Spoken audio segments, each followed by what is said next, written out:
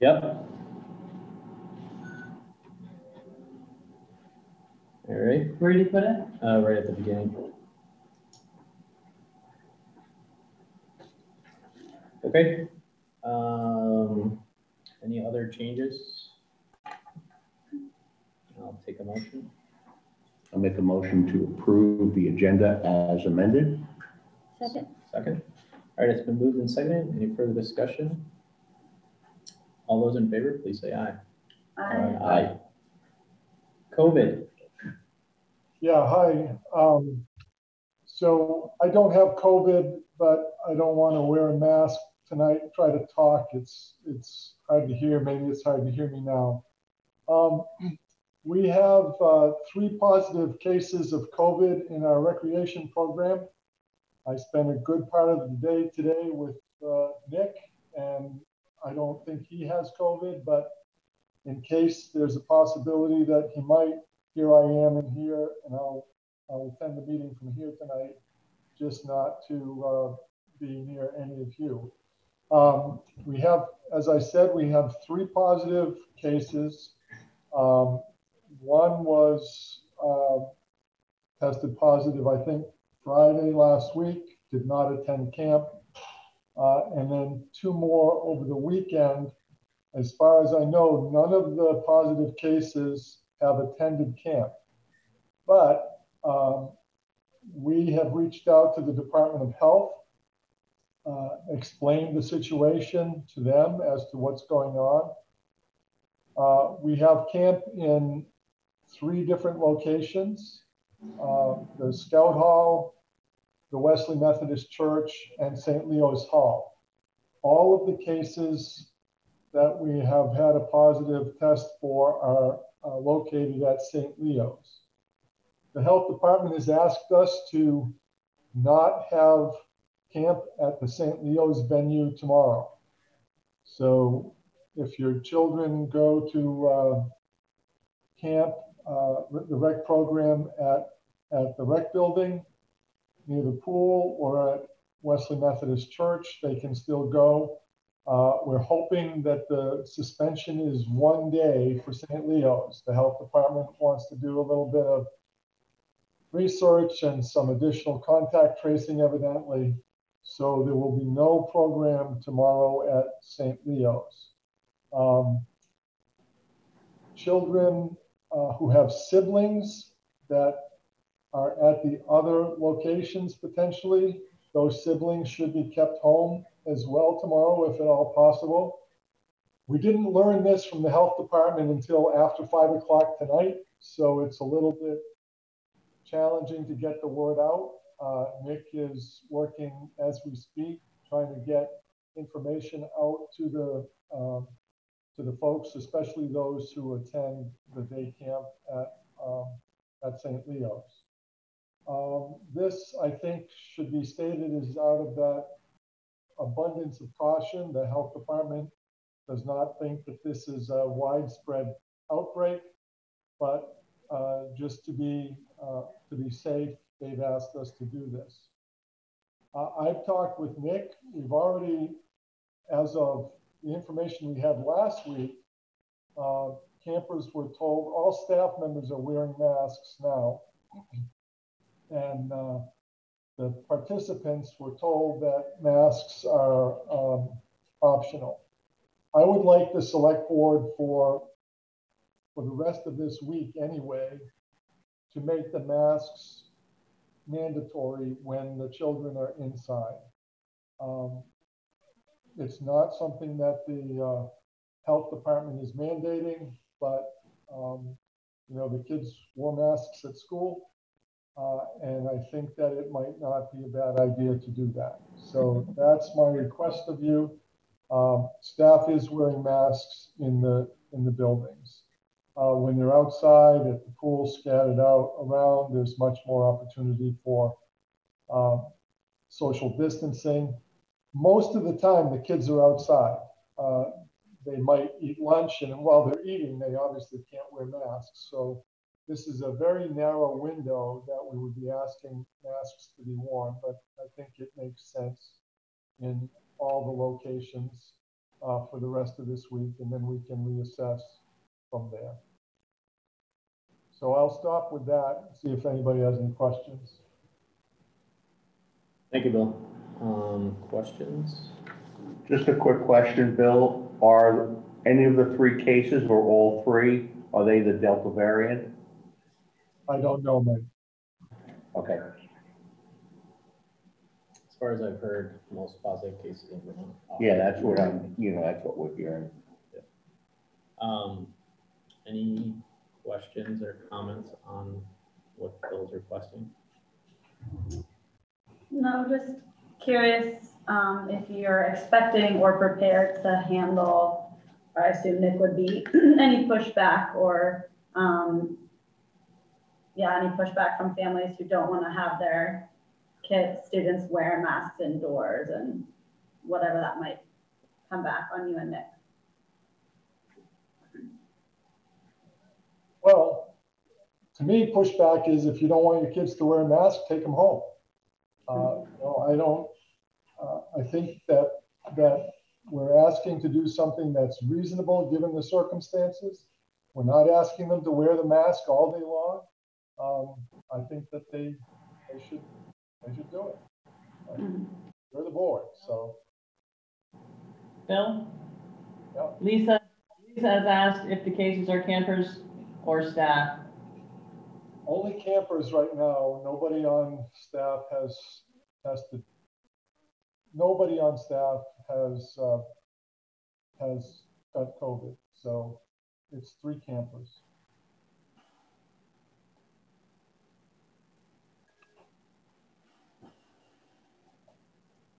Um, I'm, to- I'm totally fine with that. I think it's reasonable and I know that kids, at least under a certain age, can't get vaccinated. So I think to try to limit spread, I think it's a reasonable request. So I'm in support and would take a motion. So moved. Second.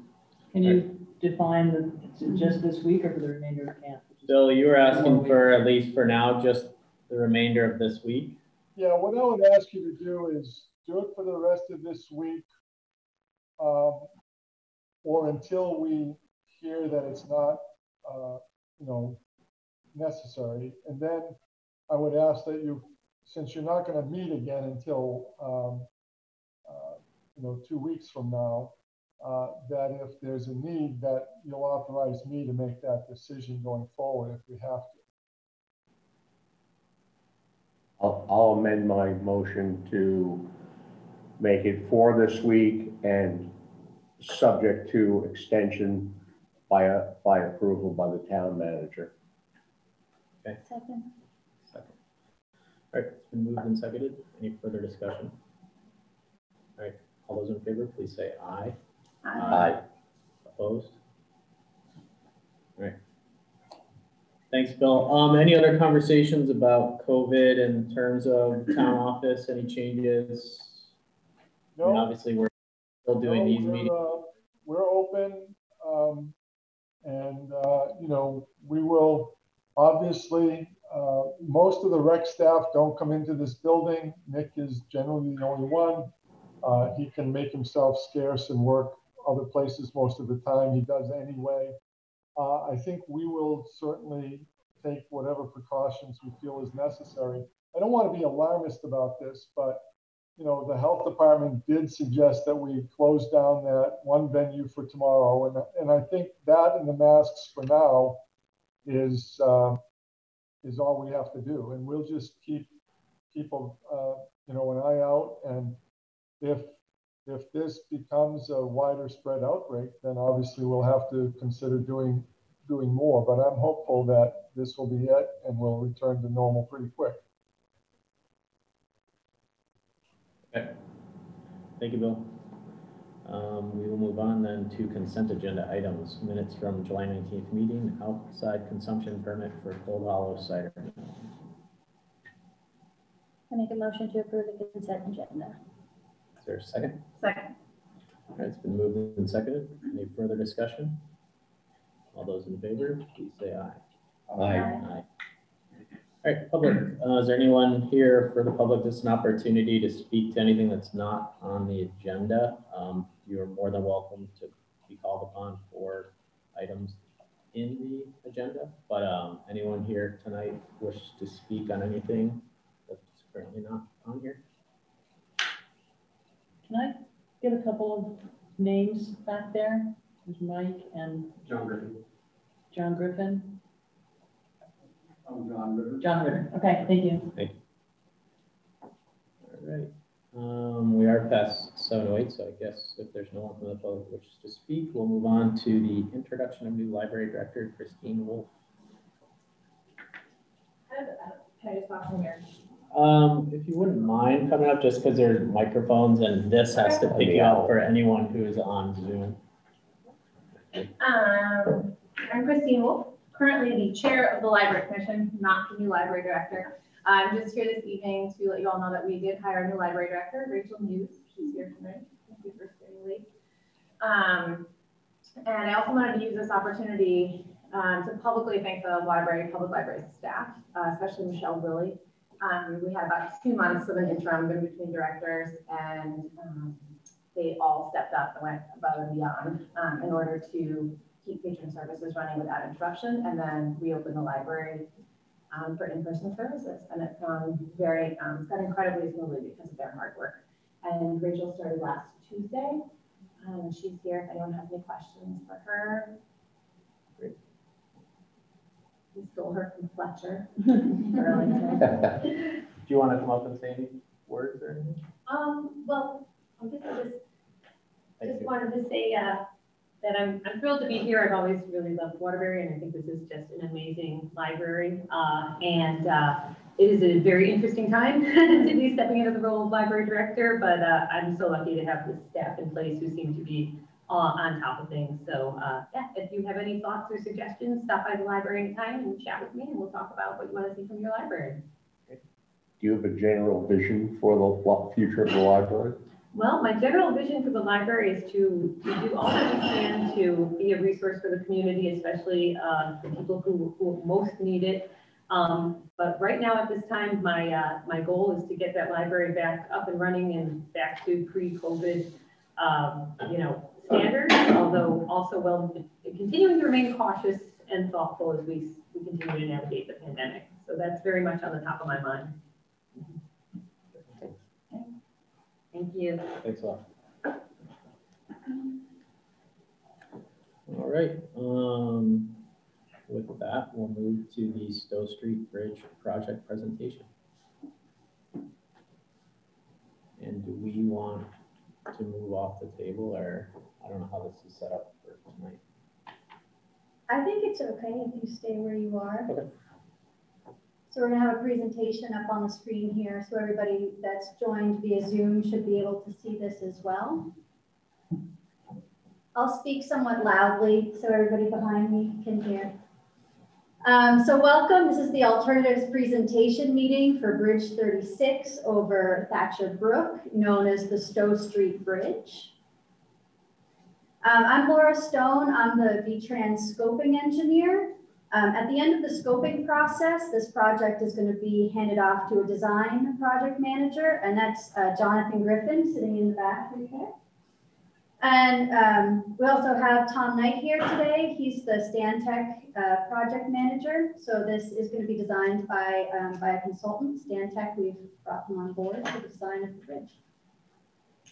So the purpose of tonight's meeting, we really want to provide an understanding of V-Trans's approach to the project, um, provide an overview of the project constraints, talk about the resources around the bridge. We're going to give you some uh, of the existing conditions of the existing bridge and um, ultimately talk about the alternatives that we considered and the recommended alternative. Um, at the bottom there, it says provide um, opportunity to ask questions, voice concerns. Um, I'm happy to take questions as they come up. It doesn't need to be at the end of the presentation. This could be um, a little bit more of a collaborative presentation. So there's a location map. Um, I think everybody's pretty well aware of where it is. It's just east of um, the I-89 interchange at the at the intersection of Route 100, uh, Blush, Blush Hill, and Stowe Street. Um, so first I'm going to talk about the V-Trans project development process, just to give you an idea where we are in the project development process. Then again, we're going to go over project overview, talk about the existing conditions of the bridge, the alternatives that we considered in the scoping report, and the recommended alternative. Ultimately, we really want to build consensus towards that recommended alternative. Going to talk about maintenance of traffic, uh, the schedule, so when you can expect to see this project in construction, a summary, and again, questions are at the bottom there, but we can really take questions at any time in this presentation. This slide is really just to show that we're at this really, really early stage of project development called project definition. Project's been funded. Um, this is where we're identifying the resources, so the environmental resources, the cultural resources, identifying the constraints around the bridge so we can take them into consideration while we're evaluating alternatives.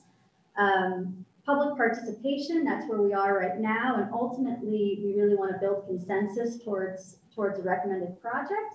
At the end of this presentation, we'll be looking at the, to the town to make a decision on how they want to proceed. That's when it's, that's when we consider it project defined. That's when we're going to move into the design of the bridge, quantifying the areas of impact. That's where we're going to do environmental permitting, the uh, right-of-way process if needed. At the end of that, contract will be awarded and the project will go to construction. So Act One, uh, Act 153 of the 2012 legislative session. Per Act 153, the local share is reduced by 50% for rehabilitating versus replacing a bridge.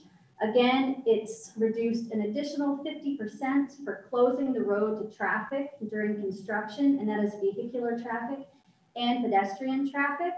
So in the past, all projects were 80% federally funded, 10% state funded, and 10% town funded for the Town Highway Bridge Program. So this could potentially drop the town's funding share from 10% to 5% or 2.5%, depending on, you can see in the, the chart there, the different options. Okay. So, hi, I'm Tom. I'm going to jump in here and um, just give a little overview of the existing conditions uh, of the current bridge, talk a little bit about some of the alternatives that, that we looked at um, from an engineering standpoint, and then I'll go over um, an evaluation matrix that helps kind of define how the different choices stack up against one another. Um, so just the picture up here is really to define the, uh, the pieces, pieces and parts of the bridge that we're going to talk about. Um, starting from the top there, you've got the, the bridge deck and the bridge railing. Um, underneath the bridge deck are the bridge beams, sometimes referred to as stringers. Um, this particular bridge we're talking about, the existing one out there, those, those stringers are concrete and they're actually um, they're actually integral with the, the bridge deck, like poured all together as one, one piece. You'll see that in some of the um, inspection photos later. But just so when we're naming pieces, um, you know what we're talking about, then the, the concrete that supports the bridge on either end, we refer to as the, uh, the bridge substructure. Um, those are bridge abutments and wing walls. And when, and the, the really bottom pieces of, of concrete out there where, where everything meets the ground that we refer to as the footing. All right, as far as the existing conditions go, um, we, we actually had the opportunity to, to look at a lot of these existing conditions and constraints on the project site um, in a study we did for the, um, the Regional Planning Commission um, back in 2018. And I actually presented on that back, back then. So a lot of these slides are, are rehashing that information. Um, we, we, when we wrote that existing conditions report, we were, we were really um, aiming towards turning into eventually the scoping report that we presented to the town recently. So um, the, the road classification for this Stowe Street Bridge is considered a local um, class two road.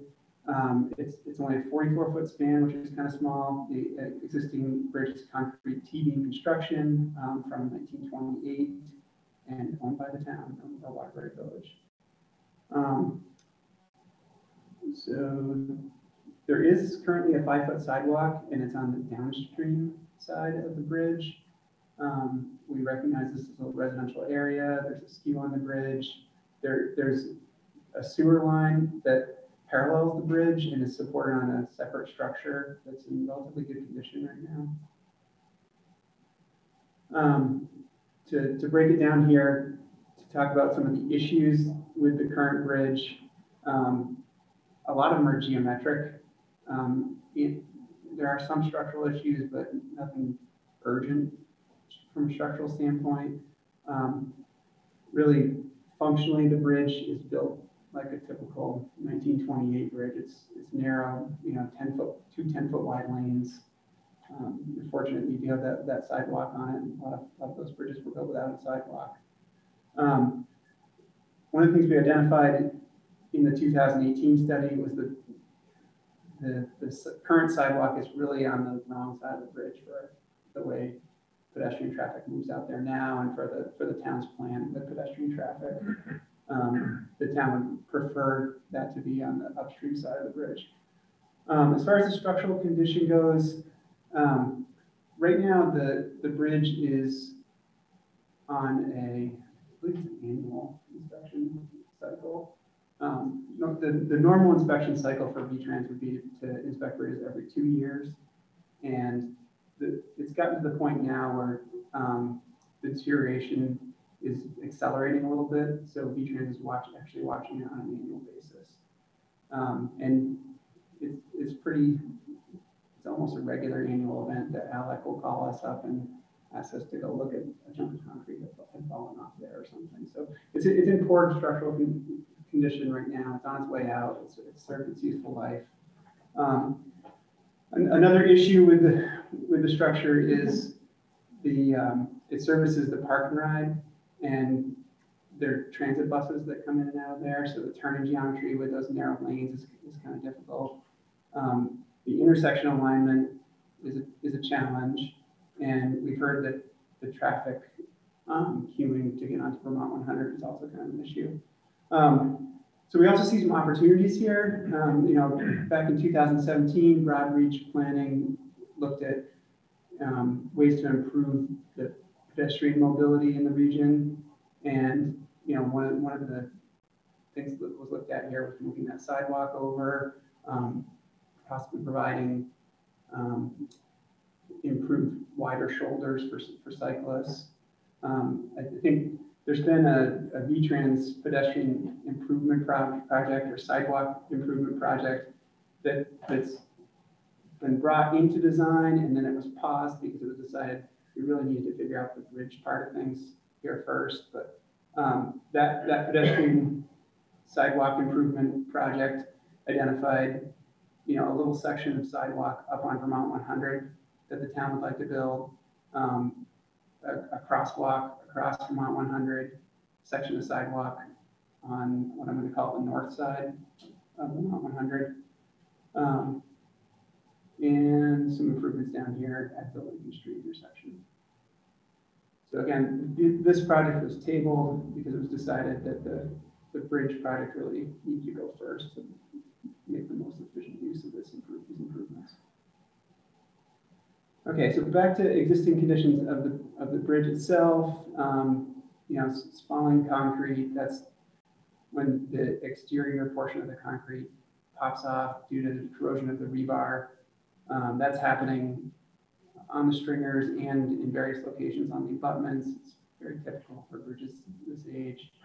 Um, cracking, just, um, you're seeing all the signs of this thing being hundred years old, so. This, this picture is a little less flattering. Um, this is the 2018 photo and actually the, the town did a nice job. Um, they actually repaired a lot of the, the issues with this abutment. And we, at the time, we advised them it wasn't worth it to, to fix these spalling areas on the beams because those are, that, that reinforcement is going to be really difficult to, um, to patch over. It's just going to continue to fall off concrete. So, all right. So looking at the bridge from the upstream side, um, that it, it partially includes the waterway right now. Um, i- ideally, there, we would have a uh, a forty-five foot. um, You have a forty-five foot stream, you'd like to, you'd like to have about a fifty foot, fifty to fifty-five foot opening there. So when the water comes up high, it has plenty of room to get through there and not, and for debris not to get hung up on the abutments. All right, so here's an existing conditions layout, and the reason I'm using this rather than the, the, the Google map image is we're gonna overlay a bunch of pictures of, of bridge and intersection options on top of here. So I just wanna get everyone familiar and oriented, I've kind of flipped the view on you here. Um, so north is to the right in this picture, so this is the Blush Hill intersection, if you can see my cursor, on the far right side. Um, the river's flowing from the bottom of the page, up the page in that plan view picture. Um, the, the Lincoln Street intersection is over here, and here we have North Street and the lower portion of Stowe Street. Um, included here, we also have a, um, a existing bridge typical section that basically just shows what we saw from those Excuse me, pictures. Tom, Yes, uh, Bill has asked that you look at your computer rather than the big screen. Because the owl will pick you up better. I'll do my best for that. Yeah, sure. Is it just the, the way my voice is projecting? Is that what's? I think so. Okay. You have to talk into the owl, Thank you. Mm, that. Technology. Yeah. Okay, so looking, looking at my computer now, um, the existing layout. And we'll also present a series of these, um, typical sections to show what width of roadway we're proposing and width of sidewalk we're proposing on the road and on the bridge. Um, a lot of these are very similar, except the graphics of the, the type of bridge we're showing will vary. Um, but here, here we're showing that the existing travelways are roughly 20 feet. Um, and the sidewalk is also five feet wide. Okay. So one of the things we did back in 2018 um, was trying to establish the design criteria for this structure. Um, so when we got into the scoping process, we could kind of hit the ground running and know what kind of alternatives we'd be looking at. Um, the average daily traffic over the bridge is 3,000 vehicles per, per day. Um, the design hourly volume across the bridge is 430 vehicles per hour. So that's like the, the peak hour from a design standpoint that you, that you look at. Um, there's about 3% trucks, design speed is 25 miles per hour. I think I mentioned um, the, the sewer line is one of the utilities, but there's actually also a water line just upstream um, of the, of the existing bridge. And there's an overhead guy wire. I'll flip back to the existing condition plan to kind of highlight that with my cursor. So there's, there's an overhead utility line that runs just upstream of the bridge here. There actually aren't any utilities carried on that. It's just, it's a cable that connects poles that are on both sides of the stream. So um, it's one of their tricks for not putting extra anchors in the ground. And almost all of our construction options would im- impact that, so I'll get into them a little bit. Okay, so now we'll talk about an outline of the alternatives we looked at, and I won't spend a lot of time on this because I'm gonna go through the individual pictures for these. Um, but, but basically, um, we do look at a no action alternative as part of our matrix. And all the alternatives we looked at, we, we made almost the same roadway geometry decisions. Um, we, we looked at putting a, a right, adding a right turn lane to the structure, uh, and increasing the, the width of the lanes. Um, so that the typical section we're looking at with all these alternatives has a three-foot shoulder, three 12-foot lanes, another three-foot shoulder, and then a five-foot sidewalk. Um, and uh, that'll make more sense when I, when I bring up some pictures there. But any of those, any of those alternatives we're gonna show, we're gonna show this 3, 12, 12, 12, 3, 5 configuration. That could easily be substituted for four-foot shoulders, which give a little better, um, a little more room for cyclists and, and actually a little less room for cars, and that can slow traffic down a little bit. Can So- you, I'm sorry, while we're looking at that, can you tell, say the current numbers as well? Sure. I know we have the ten, ten, five, but I don't know what the shoulders look like. But right now, There don't have shoulders. yeah, like- I mean, It's, the sidewalk is right we, we might call it, we might call it one nine nine one. Right. the way it is right now. Um, because usually a, a car, a motorist will shy away from a, a sidewalk curb or a bridge rail, even though there really isn't a painted shoulder out there. But essentially you have no shoulder out there right now. So we'd be improving that, in any case, improving it to a minimum of three feet and, and depending on the town's preference there, it could go to four foot shoulder. Is this affecting the sewer that's on that? Yeah, pretty much all, al- almost all the alternatives will affect the sewer. Um, we're, we're not trying to work around that with any of these. I think it's worth mentioning at this point that the sewer is a participating cost to the project. And so if, I mean, if the town has a five percent share for the project, they would only have to pay five percent of that relocation. Yep. So we did look at a, a superstructure rehabilitation, which is technically it's a feasible option. You know, you could repair what's out there, you could, um, put it back in condition, but we don't, we don't give that a lot of value. It's really a short-term fix and, and we assigned it a fifteen-year design life. Um, and that, that'll kind of show up in the cost per year analysis that we look at. Um, so then another, another option is, uh, superstructure replacement and widening of the existing abutments, which is also feasible. Um, That, that substructure that's out there, if you, if you repair it and we're, we're able to widen it, you can get a good years out of that before you have to do more work on it. So if you feel like that's feasible, we'll, we'll show that in the mix of alternatives here. Um, And then we also looked at a full bridge replacement. Um, one of the, two options for the full bridge replacement. One of them was with a buried structure, which I'll describe a little bit more with the pictures. And the other one would be a full bridge replacement with a steel beam bridge. Um, So, so again, I, I mentioned that all the roadway portions of the design kind of have the same features or similar features. Um, And when we looked at this back in 2018, the way we explained it is this really is more of like a roadway and intersection type of project, and it just happens to have a bridge in the middle. Um, there are some issues with the turning geometry on Lincoln Street. There's, there's some queuing issues and really the need for a right, right-hand turn lane coming onto Vermont 100 in order to improve, improve traffic. And the bus turning geometry really dictates things here. So I'm gonna flip that slide here to show the bus turning movements. And these, these are, the things that dictate here are buses turning onto Lincoln Street and buses turning off from Lincoln Street.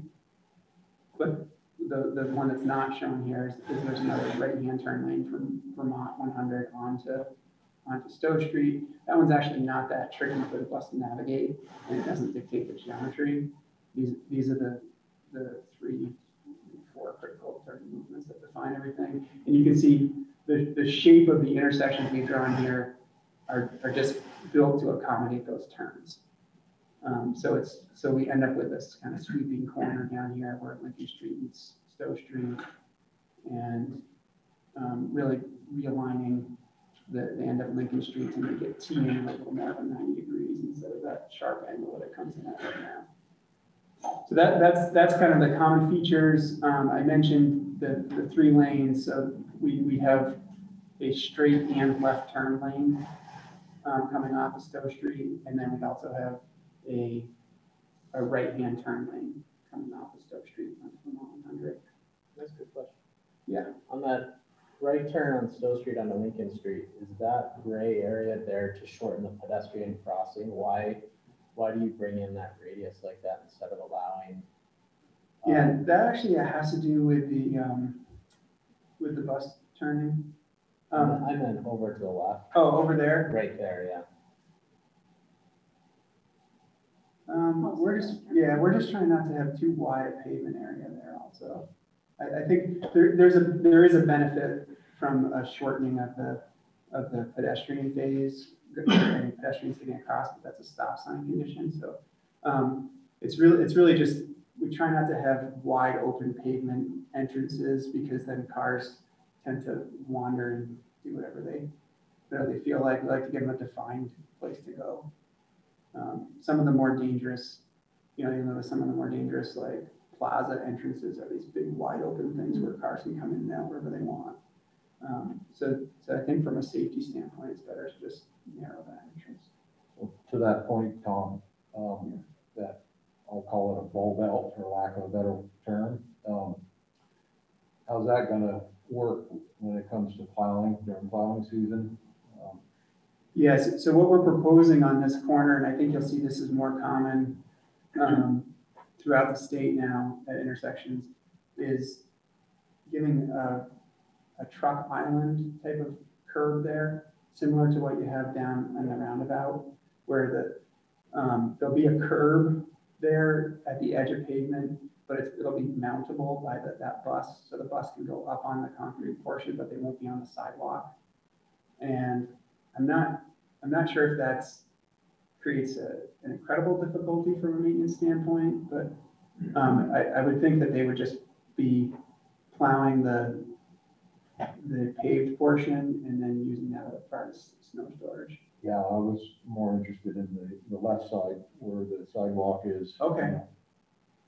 Um, I, I'm not sure about the, the plow geometry, but I think, I think a plow can still navigate that kind of corner.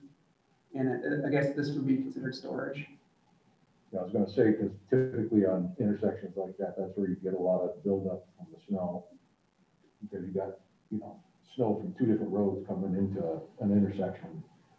Typically have, uh, more snow deposits in those types of areas. My other question is, you can see on that drawing that the, the brook, uh, bottlenecks there a little bit, um, as part of this project proposal. Um, You talked, you talked about widening that mouth, uh, between the two abutments. Would it widen it enough to make it, uh, similar to the, the two wider parts of the brook above and below? It would, we're, we're shooting for the, for the natural channel width with any of these options. Um, and I, we haven't, we haven't changed that graphically in any of these pictures because the, the blue lines just kind of follow the existing stream. But all the, all the bridge replacement options we're looking at do give a, a wider opening, a wider span length. How do you deal with kind of the, I feel like right now when you come to that intersection, you're blind to the traffic coming up Stowe Street when you either want to take a left onto Stowe Street off Lincoln or even just the right. And just, When coming off Lincoln. yeah, like wondering how you deal with, you know, if you stop right there, Yep, how good of a visibility, visibility do you have to the traffic coming from where that light blue bus is? this is something, I don't have a graphic um, available for this, but it is in the, in the scoping report that we looked at. We did look at sight lines, and one of the, one of the things you allow the um, analysis to do is allow the, allow the driver to cheat up even beyond the stop bar and, and even go on to the crosswalk when they're, when they're kind of creeping out to see that view. But I, I think as, as part of this project, um, that one of the things I didn't mention was the sidewalk limits is in order to tie in sidewalk, we'd be um, introducing a crosswalk here over near the top of North Street and adding sidewalk on the, um, it the upstream, just to be consistent here, the, the upstream side, um, basically along here on the, on the upper part of Stowe Street. That's gonna improve sightlines by keeping the vegetation back a little bit and we'll be kind of pulling that bank back a little bit as, as part of the project. Because right now there's no sidewalk there, it's just on the. Correct. The, let me flip back to the existing conditions. The the sidewalks on, on the, um, yeah, on the downstream side right now. So, so flipping that, that piece over. Um, so that's, that's gonna, that's gonna help improve things a little bit. And then I, I think that this, this geometry of essentially getting yourself ninety degrees to the roadway when you come in there is also gonna help, um, see what's going on in both directions. We, we hope, hope we're improving things quite a bit here. Um? Oh, so, so I should um, mention a little bit more about sidewalk connections here. Um, one of the things we discussed with V-Trans when you're coming up with our recommended scope here was the limits of the sidewalk work and what's appropriate to do as part of this project and what would be appropriate for the town to take on in future endeavors.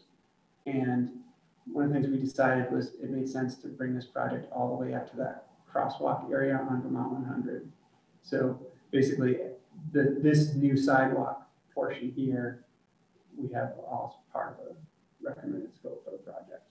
So, Can I comment on that? yes. Um, you know, when they were doing hundred, that intersection came up a lot because a lot of, as I think many of us know, a lot of people do cross there when there's no crosswalk. And basically, as it was told to us, there wasn't a safe way to create a lane on either side of the road, so it wasn't part of that project.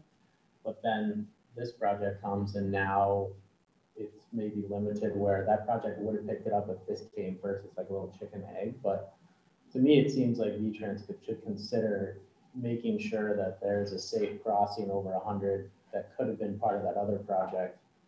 And then, you know, whatever that landing zone is on the other side, I really do think that we, this, this intersection, I'm surprised people haven't gotten hit on this. I think it's crossed way more than um, it's realized, and I see it on a daily basis, and I'm sure many of us do as well. And I really would hope that that would be considered as part of this, because I think that is crucial.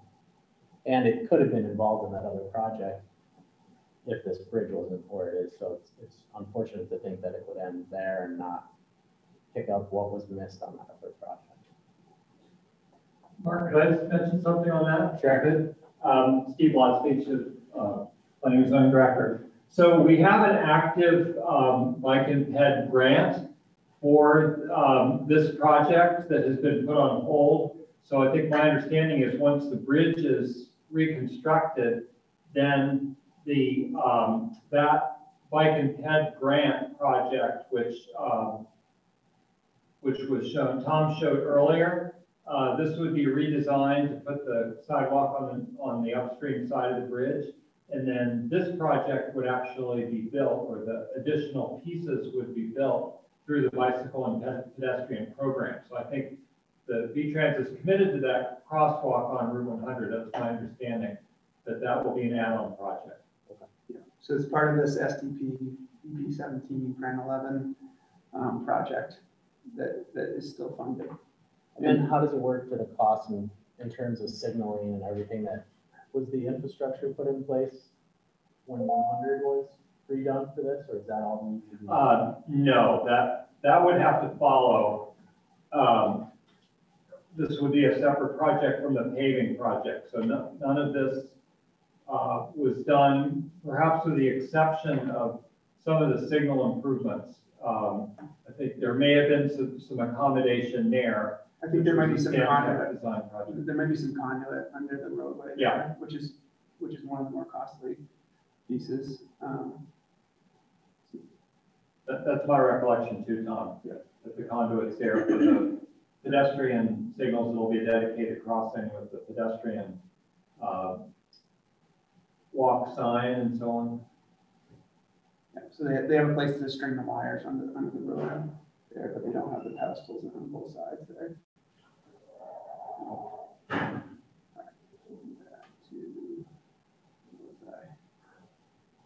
Common conditions, I think.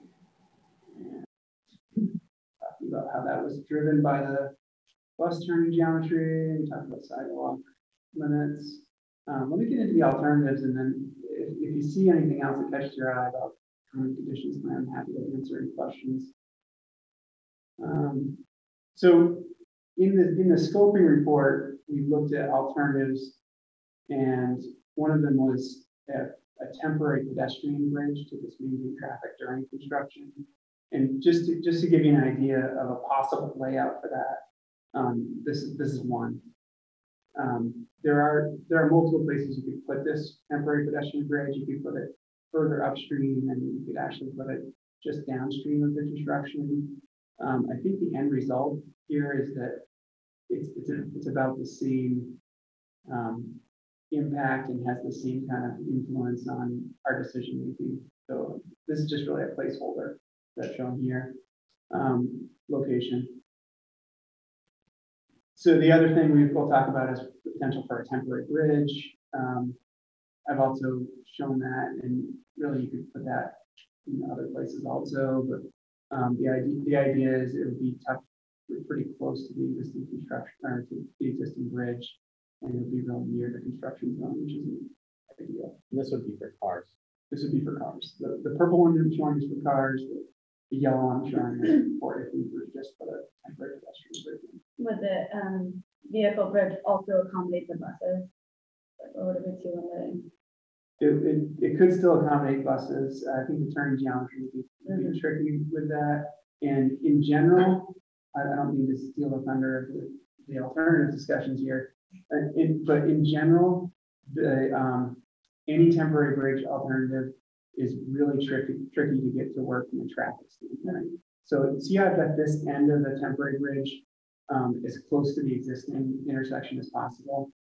That's necessary, or you create an offset intersection condition, which gets really tricky from, from one traffic light trying to serve essentially two staggered intersections.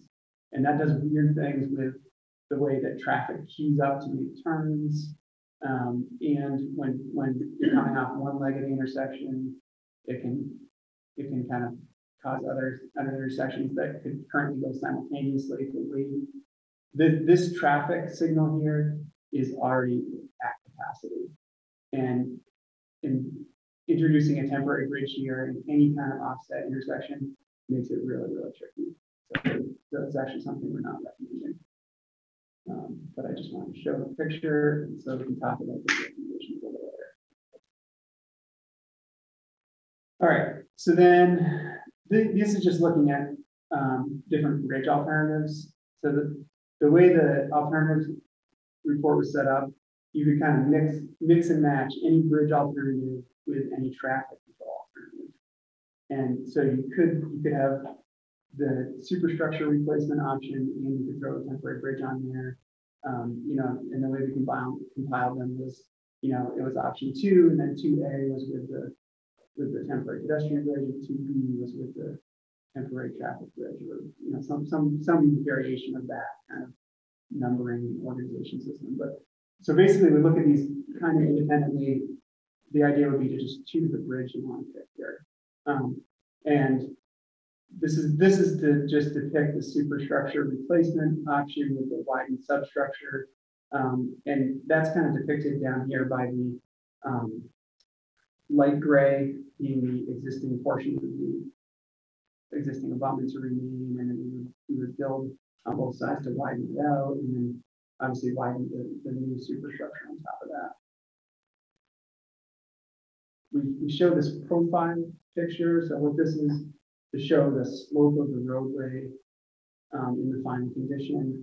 And I think the big takeaway with all of our profiles here is that we're gonna keep it more or less the same as it is out there right now. We're not trying to raise the grade or lower the grade or anything. It's, it's kind of challenging enough with the hill as it is right now. And we have, we have plenty of clearance over the, over the stream, even when the water comes up high. There, um, you can still kind of fit the water under the bridge. So really not gonna mess with the profile. You'll see kind of the same thing with different graphics Okay, so alternative three, the um, bridge replacement with buried structure. Um, so this one's a little bit harder to, to describe with words, but it, basically we're putting in like an arch type structure underneath the roadway. And that, the picture down below here is mentioned great. Um, see if I can paint it or something to get that to completely show up. Is that better? Okay. Um, so basically you would, you would put the arch type structure underneath and then you would have a layer of roadway structure. Um, and, and it would essentially for the town, it would behave a lot like a regular um, piece of road. They'd be able to maintain the pavement and everything. Um, just like they treat a regular road. so in profile view, that, that shows you what's going on there. It's this arch, um, slightly wider than existing. And we actually did a three, little three-dimensional graphic to give people an idea of what that looks like. Okay. That's a, that's a cutaway to, to show you the arch and the roadway. All right, and then we have, uh, um, a full bridge replacement. This would be new bridge abutments setback from from where the existing are and steel beams. Um, one of the tricky things about this design is we do have this little corner of bridge here that needs a, um, what we call splayed beam underneath it. So you would need a, a beam that frames out that little triangle, which is just a, it's a little complication for us. Um, but we've done it before. Um, again, profile doesn't show much, and there really isn't much more graphics to show. Um, Alternatives, you have any questions or want to back up on those, I can do that. Can I just, can I just add that with the buried structure option, um, one of the benefits of that option is that the sewer line can be placed if you go back. Oh, yeah, that's good, that's good plan. Slides. Yeah, right It can be placed right in the fill above the culvert. Yeah, so if you ever need to, ch- to change out anything with the sewer, um, basic, basically it's treated like any other piece of sewer in the roadway. It's, it's a little more accessible by the town crew, and if it, if it's hung under the bridge, that can, that can have issues.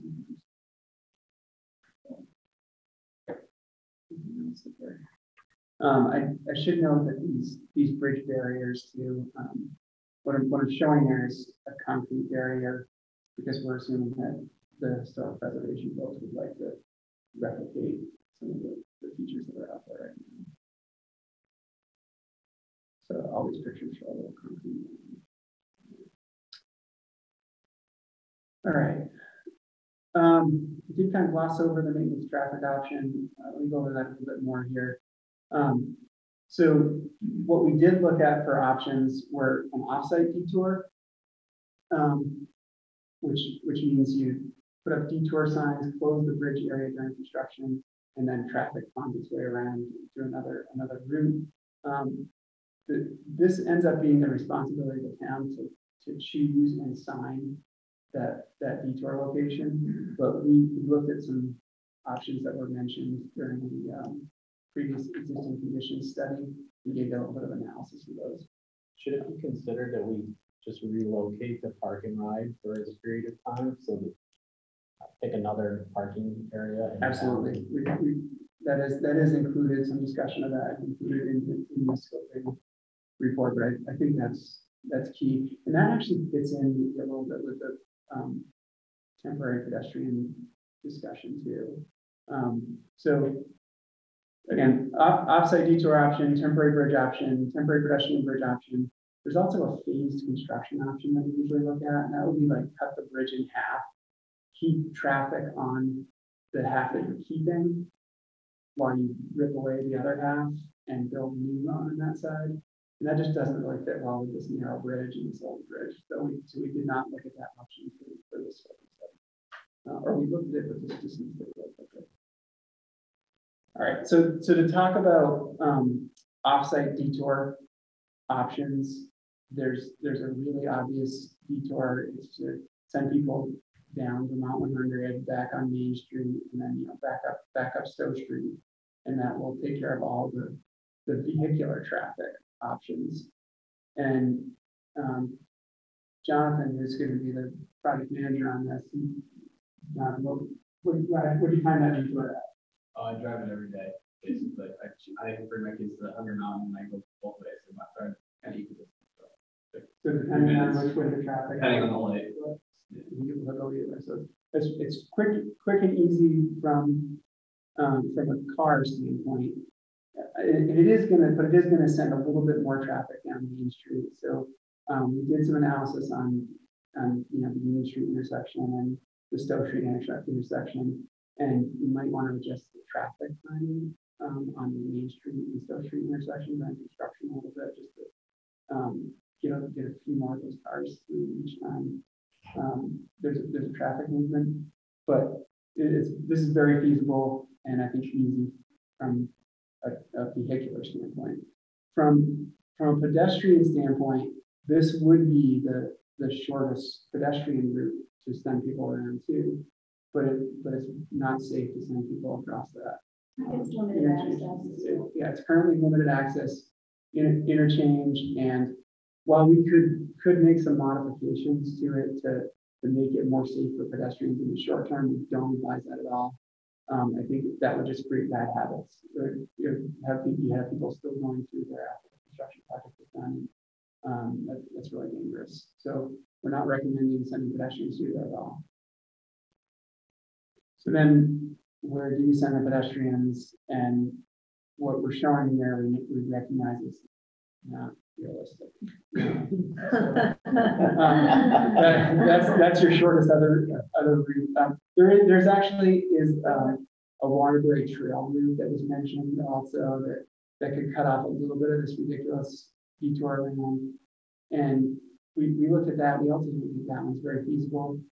Um, so if you, if you read into the scoping report, what we're recommending here is to consider some shuttle options. Um, in reality, the, there isn't a lot of pedestrian destination out there right now. So there, there, we feel like not providing any, um, connection for pedestrians isn't horrible, as long as we can make it better i- with, with the final condition. Bill's asking, um, what length of closure would the construction be? Right, okay, Or so will we- Impact school traffic. Yeah, when we started out here, um, we were looking at ninety days and, you know, I, I think we, we're confident we can build that down to a sixty day closure. It's pretty comfortable with any of these options. I know there's Shaw's employees that walk up Stowe Street almost every day to get to work. Just hang a rope there. over the- Yeah, it, it, it- it definitely is tricky for someone that doesn't have access to, a vehicle. I mean, it, it really is a long ways around. And one, so during the discussion of relocating the parking ride, um, there, there might be some options for like getting a shuttle bus to that Shaw's location and making the connection from the Shaw's location down to the, um, state office complex. You know, some, some kind of shuttle connection like that, or even using one of the, one of the buses that already do that route from Park and Ride to the state office complex. Um, using them as kind of another means to get around. I know that'd be like limited times during the day. Um, the, the other option is, you know, to hire, to hire a shuttle for that sixty days and have, have them on a regular schedule or on an on-call basis. What's the uh, typical expense added to the cost of the temporary pedestrian? bridge? Um, I'll get into, get into that here, but. But I, I think the, the rough number there is for the, for the construction cost, it would probably add up three hundred thousand.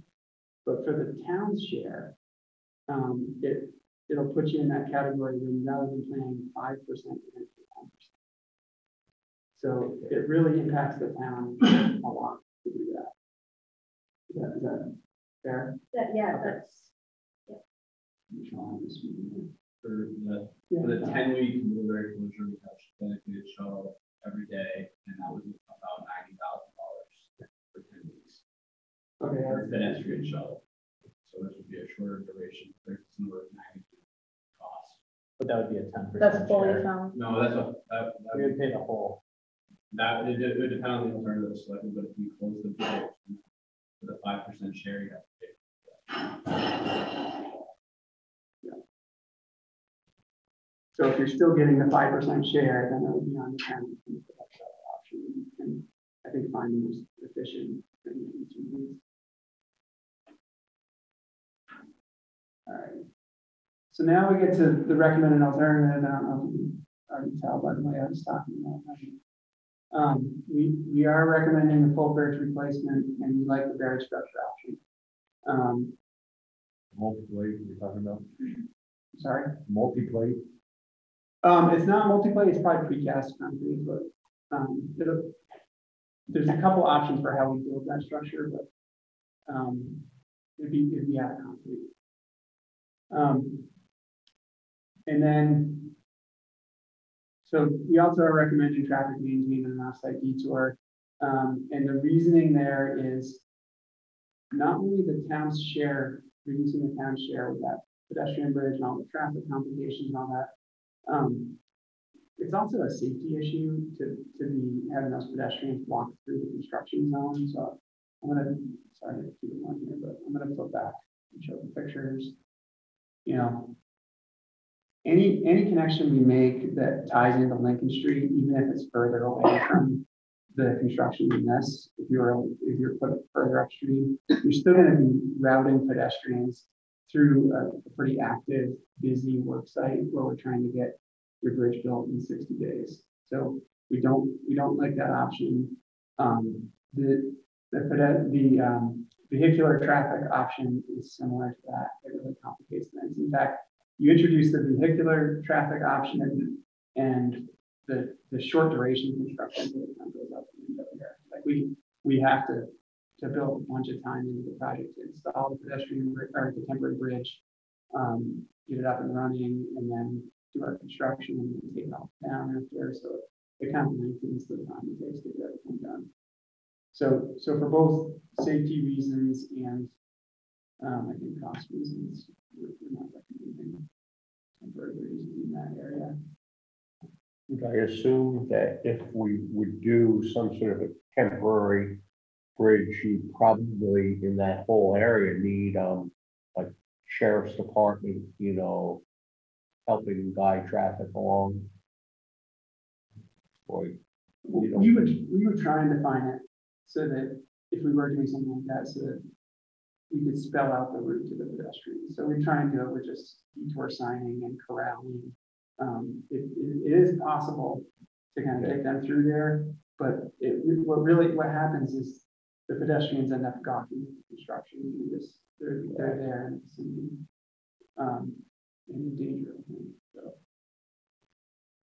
And, and pedestrians will do silly things, they'll climb over barriers that's through here. take pictures. Yeah. um, All right, so, so, um, I, I mentioned the sixty day closure duration, that's one of the things we like about this option. Um, again, the, the whole twelve foot lane and three foot shoulder thing is completely up to the town, they prefer the slightly narrower traffic lanes and wider shoulders. Um, we're, we're open to that, in fact, I think most, most people are in favor of that one.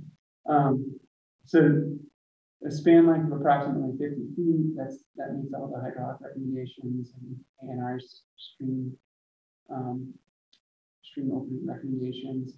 So this, this is just a note more from an engineering standpoint.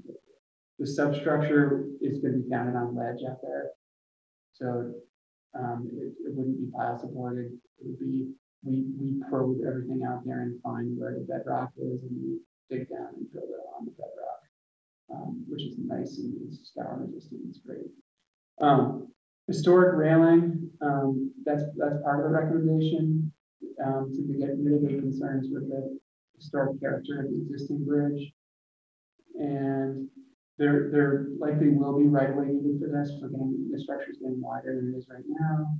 Um, there is some aerial utility relocation required, and there's relocation of that sewer line, which is municipally owned sewer line as part of the project. Speak up and clearly. Someone's been- There was a comment, just. Oh, do I need to speak up more clearly? I'm sorry. Apologies.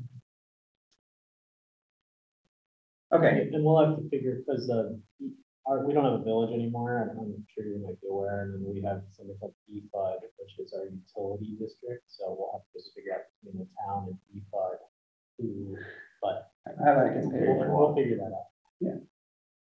Can you zoom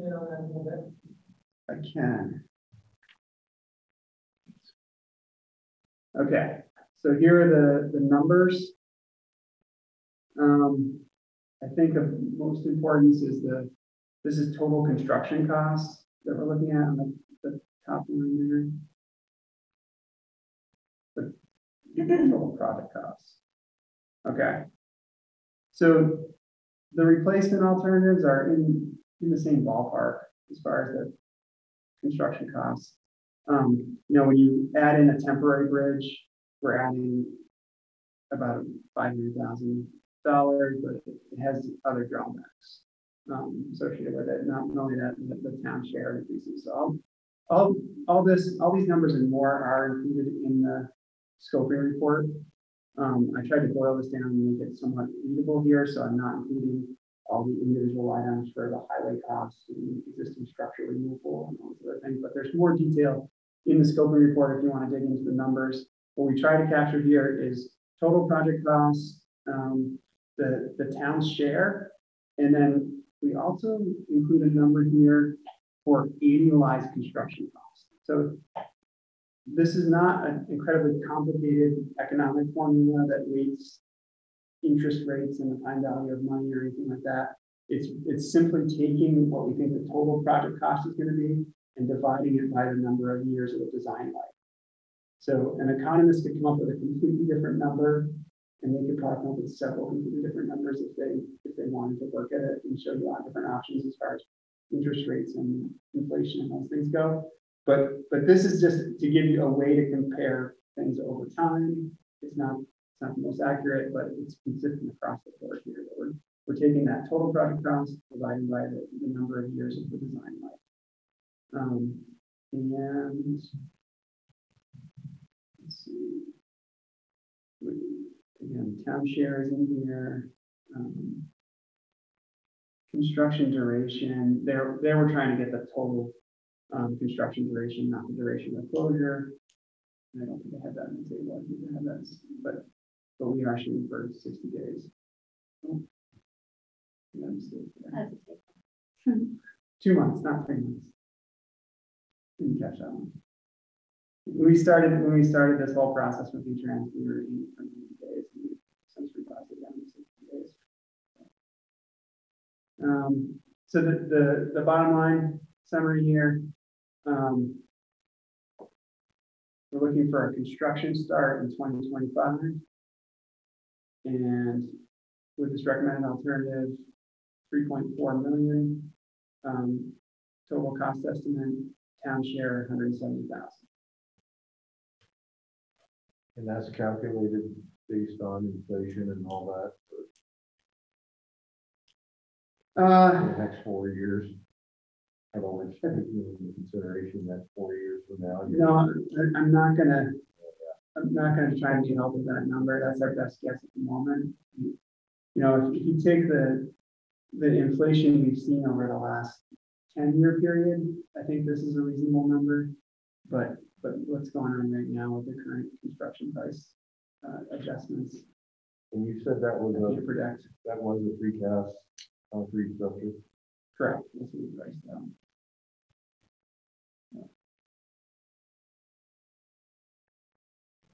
Okay. Now we're on to the next step. Can you cover that? Sure, yeah. Okay. Can I s- Um, can I see if anyone from the public, like, is there anyone that wants to comment before we move on? Any questions? Uh, got a couple. Um, Is is there, is there gonna be a closure on uh, Lincoln Street? Uh, we could, we need that meeting here. Um, I'll just mention I've reviewed dozens of these scoping reports for bridges. um, Done a very thorough job. Um, I really like it, and the alternative as well. Thank you. And from pedestrian and bicycle lane point of view, I like the wider bicycle lane, We're trying to accommodate people with bicycles more and more in this area. Um, could you describe a bit more in detail about how the bridge is being widened? Is it being widened on both sides or more on the upstream side or the downstream side? We're actually trying to split the difference right there and, and, and widen both directions equally or more or less equally. So, um, even, even though we're adding that traffic, the, that traffic lane essentially to the Stowe Street traffic, um, the, the bridge length along the stream will kind of grow from the center of what it is now. Okay, and how much wider is it going to be? um, what's the current fee and Yeah. what, what will be the? Let me do the math on that number and I'll, I'll share it back. to you. Um, And right now, uh, by the way, we live at one sixteen Stowe Street, which is the first house on Stowe Street, so that's why we have some concerns about the details here. Um, and the sidewalk right now goes on, as you said, the wrong, the wrong side, or the downhill side, downstream side, and comes up by our house. Is that, it looks like, you know, just from your diagrams, that that's going to be partially eliminated, or, you know, I'm not sure where it's going to end. It looks like they're going to be taking part of that sidewalk for a lane.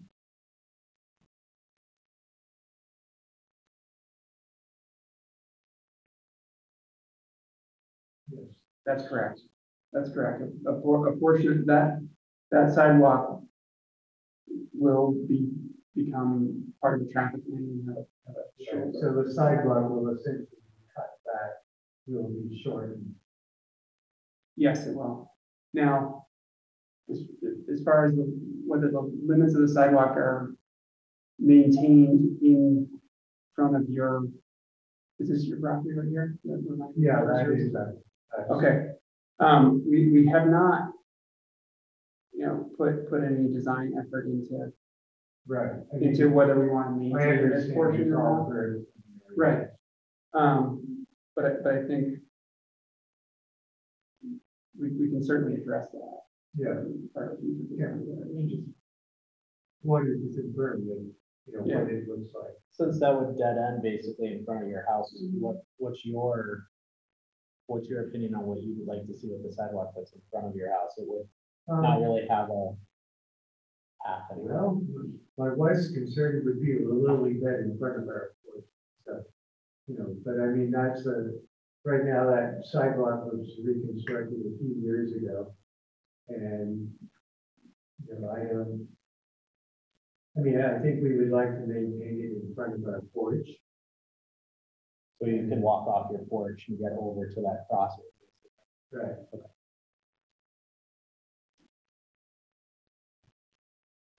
In that section between our, our, our house and the, I mean, that's sort of open lawn, so we have less, you know, concern about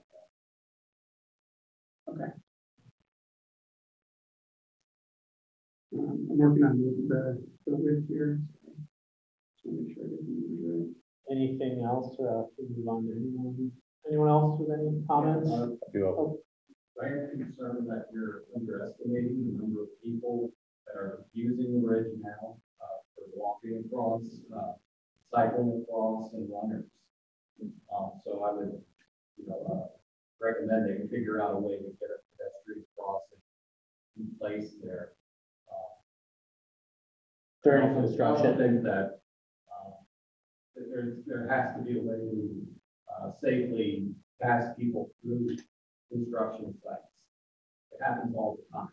Uh, So I don't really think that's a, a valid objection. Uh, And, um, I, I just think there's, there's a lot of people across that bridge that aren't being taken into account.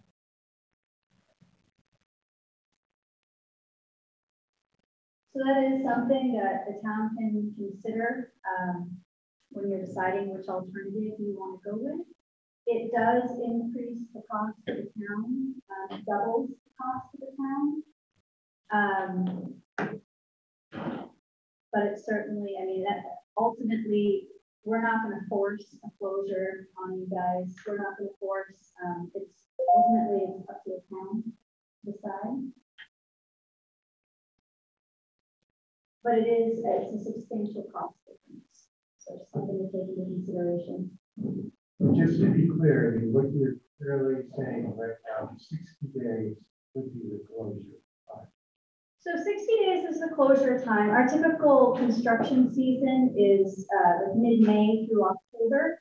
And so once this gets into design, um, Jonathan will work with the town to determine, uh, what sixty days that is. So you can take any sixty days, any sixty consecutive days um, between that window. So it could be, it seems like Bill was concerned with, um, school, school bus routes possibly, so it could be, you know, June fifteenth. I don't know when your school season ends, but it's usually around that time. That's when the sixty days could end, but there's, um, that's, that's something that we'll work on the town with. Yeah, and, and not trying to complete the entire construction in that sixty days, but trying to have it reopen to traffic and pedestrian traffic after that sixty days. So it might still not have the final pavement on it, and then that's all ran done, but it would, it would, it would have the, the lanes available for traffic to start using again, and a, a- an area for the pedestrians and cyclists. So the sixty days is the complete shutdown. Is, is correct, the Right, pedestrian, beyond that- that's when you don't have connectivity. Other than that, it might be rough, but it would be nice. I think maybe the town ought to look into what necessity pedestrian traffic versus um, enjoyment pedestrian traffic is crossing that bridge and for that short sixty day period, figure out some alternative to get those necessities to where they need to be back and forth. Then the joy walkers can just have to find an alternative for, for sixty days, other than incurring an enormous cost to the town for this, you know, short stint of sixty days. Right, I was wondering if we could figure out like a volunteerism or, or trying to get people to and from work. Yep, so at some point, maybe it's worth putting out some information to people who need to use that access to get to work. By foot and, uh, you know, have them sign up. So you know, he needs to get back and forth and When do we need to make decisions on? It Seems like the pedestrian thing is, is one of the main conversations we're probably have to have. When do we need to make those kinds of decisions? So it doesn't have to be tonight, it doesn't need to be your next select board meeting, I mean, you can, um, if, if you need to do a pedestrian study to figure out the pedestrian issues, um, I mean, you can, you can take a couple months. The, you know, you- this goes out six months, if you're taking a year to make a decision, there's, um, definitely a possibility that that twenty twenty-five construction can move out to twenty twenty-six. Um, but certainly you don't need to make a decision tonight. Um, But I would, I would recommend, you know, in the next, in the next couple months, we definitely want to hear back. Laura, I would just add that I'll be working with the town and design engineers to refine that closure period as well. I mean, we like to come in here and, you know, we don't want to over and under deliver, but I'm pretty confident we can shave a few days off of that too. We can do an incentive for the contractor. Um, we can choose what substantial completion needs look like for that closure duration. So like, uh, Tom was saying, you know, maybe there's no pavement on the road when we reopen it, and then we do a couple of night closures, finish paving. Um, but it's open for those peak volumes and most of the time. So there's some things we can look at as we get farther into design and we really know what the details are gonna be. Um, you know, we're still so conceptual in terms of promising things, but we're confident we can get sixty days. I'm pretty confident we can do better. Um, I drive across that twice a day, every day, so, you know, I'm- I'm destined to work hard for you guys. Um, and, and also, one thing that you can note is the town, chooses an alternative, you know, to get the five percent, that's the, the next step, is the uh, finance and maintenance agreement that I work to execute with you guys, um, which basically simplifies your funding. Um, so you pick your, your alternative, and if you choose to go without need for, you can then have the project duration to finalize how you want to accommodate pedestrians for the needs. So some of these things can run concurrently as well. At sixty days, is that taken into consideration any weather delays? Yeah, it does, right? So it's, Okay. there, there's, uh, there are no considerations for weather, basically. Um, you get the days you get, and that's all the contractor gets. So, um, we do factor in some, you know, contingency time. But, but once we know what the alternative is, right now, we're not sure if it's gonna be a precast structure or, uh, you know, steel beam girder structure. So once we know exactly what the town an alternative sewer structure, we can refine the design and get a better idea of the construction schedule. So those incentive, disincentives, um, just to give you an idea of what that is. So for every, um, day that the contractor completes the bridge ahead of schedule, we pay them money, we pay them extra money. And then for every, and I believe it's built by the hour, that they, um, they don't meet that sixty days, they need to pay us. And I can say it's, it's worked in ninety-nine percent of cases. We've done hundreds of bridge closures at this point. Um, you know, we very detailed, uh, construction schedules laid out. Um, you know, activity by, construction activity by construction activity and, um, all but one project, uh, the contractors met the date that, for that time duration, so. Any other questions or? I'll- Um, so next steps, I'm, I'm gonna send a response to the town probably tomorrow or the next day. I'm gonna be sending along, um, a form, it's gonna have all of the alternatives, um, spelled out on that form, and the town, when you're ready, you can just check, you know, we want alternative three A, four A, whatever it is. Um, so we're waiting for, uh, the town response to recommendation on the proposed project. Um, once we hear from the town on how you'd like to proceed, that's when we'll start, um, developing conceptual plans. Uh, we'll distribute them to the town for comments. Uh, if everything looks good, um, we'll process the local agreement, so that's the finance and maintenance agreement. Um, at that point, that's when, um, we will start developing more plan sets. We go through the right-of-way process, which I believe it is gonna be needed on this project. Um, and again, just a reminder, the town is responsible for any closing. Right. Any questions? I, I actually have a follow-up to the, the question that was asked about the width. So if my- if my numbers are correct here, looks like we're adding twenty-two feet of width, Me too, twenty, yeah, two, two. Okay. Yeah. Thank you. Split by the center of the river. Tr- Trying, trying to keep it as close to the center of the road as, as possible. So, so on, um, center of the existing right of way. So eleven feet on each side. Yeah, that's, that's more or less what we're aiming for, is to keep it equal. How many feet of river would be reclaimed in this project?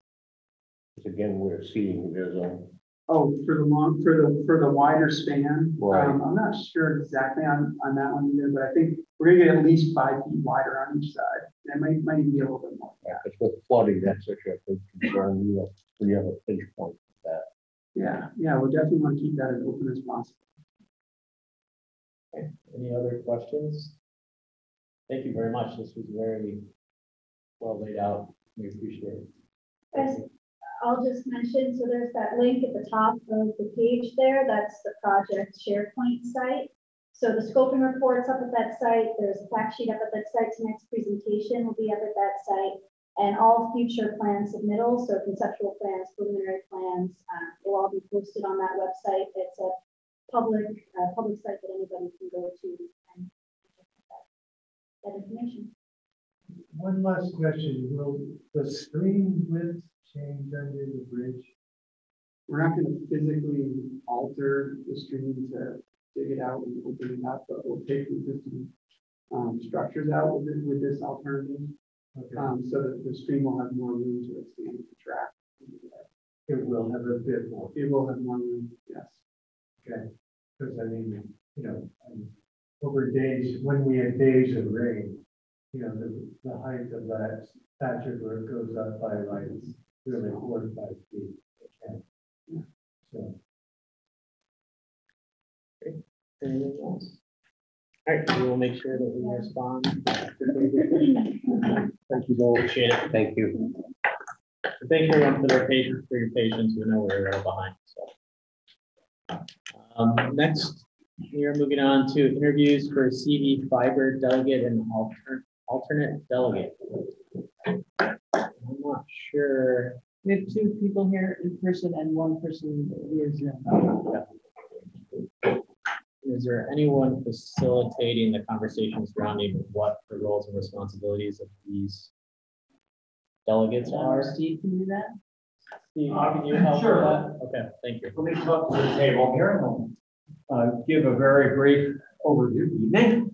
So um, CV Fiber is our uh, communications union district uh, that already exists. So you've already decided to join and the final step is to appoint a delegate and an alternate delegate. So, um, and the roles, the, uh, the board of CV Fiber, my understanding is they meet monthly.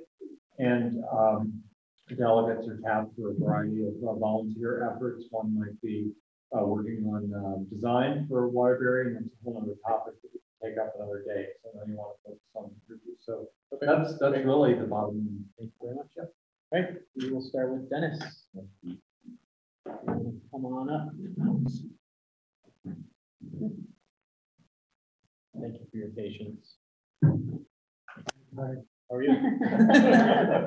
So yeah, Dennis, if you could tell us a little bit about yourself and uh, why you're interested in being a CV fiber representative for Waterbury. on, on March three. So, I live over here. Uh, Mark put out a letter to us that, uh, I've been fairly involved in trying to get internet up our road since I lived here. Um, It's a really challenging problem cost-wise for our residents. I'm sure you all know that. but dealing with Comcast has been pretty frustrating. They, they want an army like to bring cable up anywhere.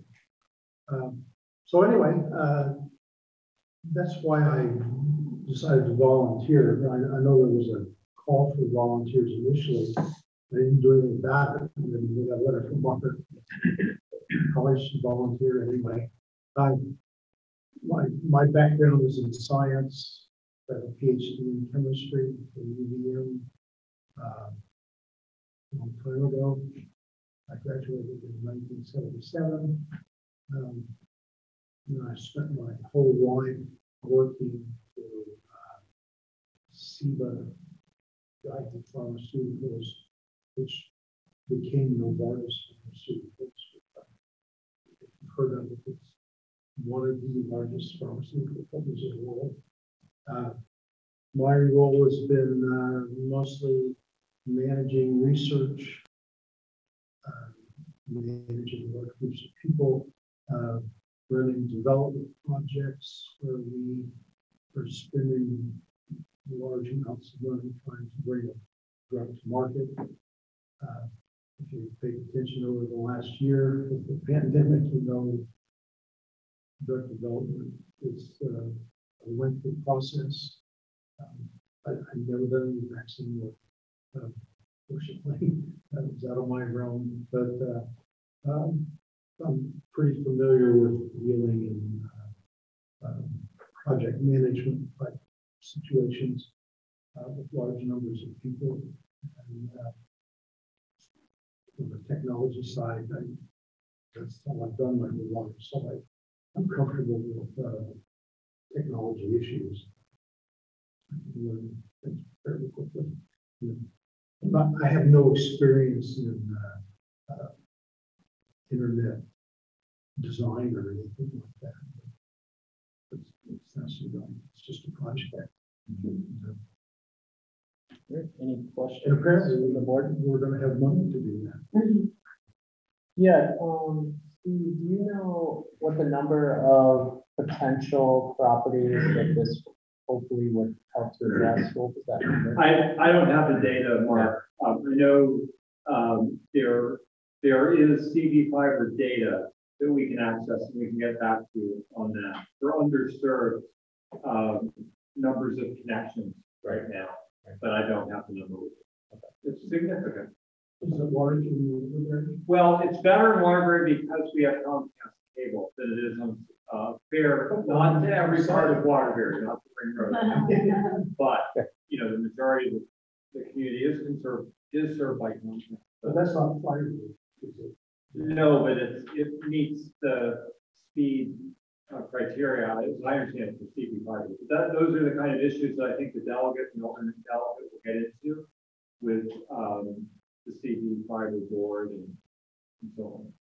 So I, I solved my problem, because I linked with Starlink from my house. I'm up the mountain pretty far, so I have a third view, but it, that really would work for general areas, I think, because of the, the demand for a clear view of the spot. There's a significant upfront cost to that as well, right? Or, Five hundred and fifty dollars, and then the monthly on that. ninety-nine. Um, I any, have experience with fiber optics, I should mention. Oh, yeah? Before I lived in New Jersey, because it was Verizon's headquarters, they put fiber optic to every house in the township. Um, And then knocked on their doors and said, would you like to have fiber? optic? And the answer is yes. yeah, okay. Yeah, definitely, fiber optics, where to go if you get it. Um, any questions from the board? Sounds like you got a lot of experience in a lot of different areas, Dennis, but, uh, do you have any experience in arms listing? It seems like, uh, Comcast, everybody has problems with Comcast. Um, Well, I, I don't know what it is about their company, but, uh, getting them to do anything is like pulling teeth. In fact, We. They make a lot of money. They make a lot of money and they do, seems like they don't do a lot for it. I mean, once they get their infrastructure in, I mean, the town right now has had to extend their contract. Get them to move their lines off the poles here, so we can pull the poles down through Main Street. Oh, yeah. They're the last one. We knew that going into this, you know, deal, that they were gonna be problematic. And in fact, they have kind of gone over, over the line in being problematic and, uh, so I think that's gonna be the huge number one issue. is Are they gonna be the supplier of the internet? I, don't think no, it would not be, no. It would be a separate system. So what part, do- what role do they play in it then, Steve? Who, Comcast? Yeah. I don't think, I think this would be tied into a fiber line that's coming from Stowe. Hall. Potentially from Stowe. Potentially, yeah, it's just separate. It's a separate system altogether, the CV Fiber is built. And they showed a map in one of our meetings, it was, because I think our underserved area is Upper Sweet, Sweet Road area, Ring, and then I can't remember where the other houses were. So who's gonna be running the lines? Is it? Well, they would have a contract. Yeah, I think maybe at another meeting, we can get involved in all that, Chris. I would recommend you. Yeah. Go through the interview process. We'll, we'll talk tech, tech, we'll get somebody in here to talk to you about technical. Maybe Jeremy has to talk about the technical side. I apologize. No, it's okay. I just, I don't know. Misunderstanding. Great, uh, thank you very much. Um, and we will let you know, we will be picking a delegate and alternate. Okay. We'll let you know. You know where to find me. Thanks. Thank you, Dennis. Before it snows. Linda? Thank you for your patience as well. Um, introduce yourself and tell us what you're interested in being about. My name is Linda Gravel. I live in Waterbury Center. I- I'm interested in public service, and that's why I'm applying. I think I have expertise in this area and education in this area. And so I will go through the different things that I have to offer. Um, My first I'll talk about is my education. I have a bachelor's degree from Northeastern University in math and computer science and education. Um, I had a double major there.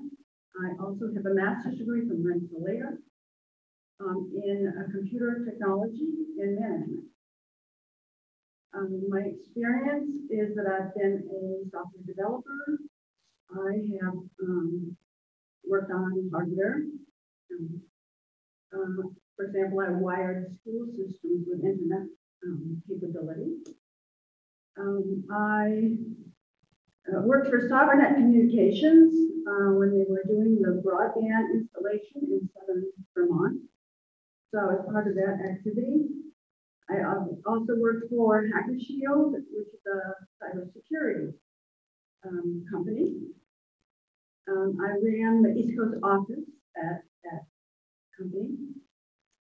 Um, I consider myself um, a software developer, um, engineering project manager, and um, I think all this experience that I have um, working with um, internet already will come in quite handy with this job. Let's see what else I have to offer. Oh, public service. I'm currently at Justice for Peace. I'm a volunteer with Stowe and Waterbury Schools in ski programs because I'm a ski instructor. And I, um, collect donations for the Vermont Food Bank um, as one of my public services. And I am the Democratic County Chair for Washington County, where I do a lot of uh, negotiations, you might say. so, uh, which can come in. Any questions for me? Any questions? A couple of questions. Where did you do your software development company? Did you do software development for? You mentioned that. Um, Okay. How long have you lived in Waterbury? back here. Five years. Thank you. Impressive background. Yeah. What do you mean, your spare time? She's retired That's right, I'm retired. The difference between retirement I know that and being a feeling. having a career is that one you get paid for, and the other one you're working, you don't. I know that feeling well. Um, I also think that it's, um, a good thing to have diversity on this committee, and I think as a female, I will bring diversity. to this committee. Thank you very much. Any additional questions? Well, Thank you Thank you for your consideration. Yeah. Thank you. Thank you for coming. And I believe Christopher, you are via Zoom, correct? Yes, I, I apologize. I'm I'm kind of under the weather, and I didn't want to bring that into uh, to a public place. So thank you for having me. No problem. Thank Um, you for that. Same, same thing. If you heard the other interviews, just tell us a little about yourself, your background, what your interest is. Sure. Uh, although I have to say, following Linda may be a little difficult, um, and also. uh, um, as as we're here to discuss, my internet is a challenge, so I apologize if I cut it in and out. But uh, um, yeah, a little bit about my myself. Um, I've been uh, in technology my entire career.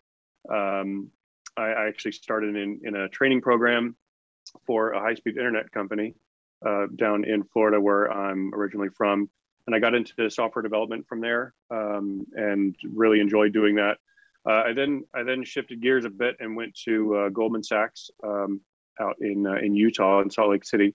And I I I, um, I worked on a team. uh, it's called DevOps, which is sort of um, halfway in between a, an IT role and a software development role, uh, I guess you could say. And and I did that for a while before moving back home to to Florida, um, where I ended up um, running the IT team for um, for a software company, a healthcare software company, and um, I did that for a number of years. And so, you know, in in that experience, I, I worked with a lot of different cell phone providers. We had um, we had four different campuses that all had primary and secondary internet.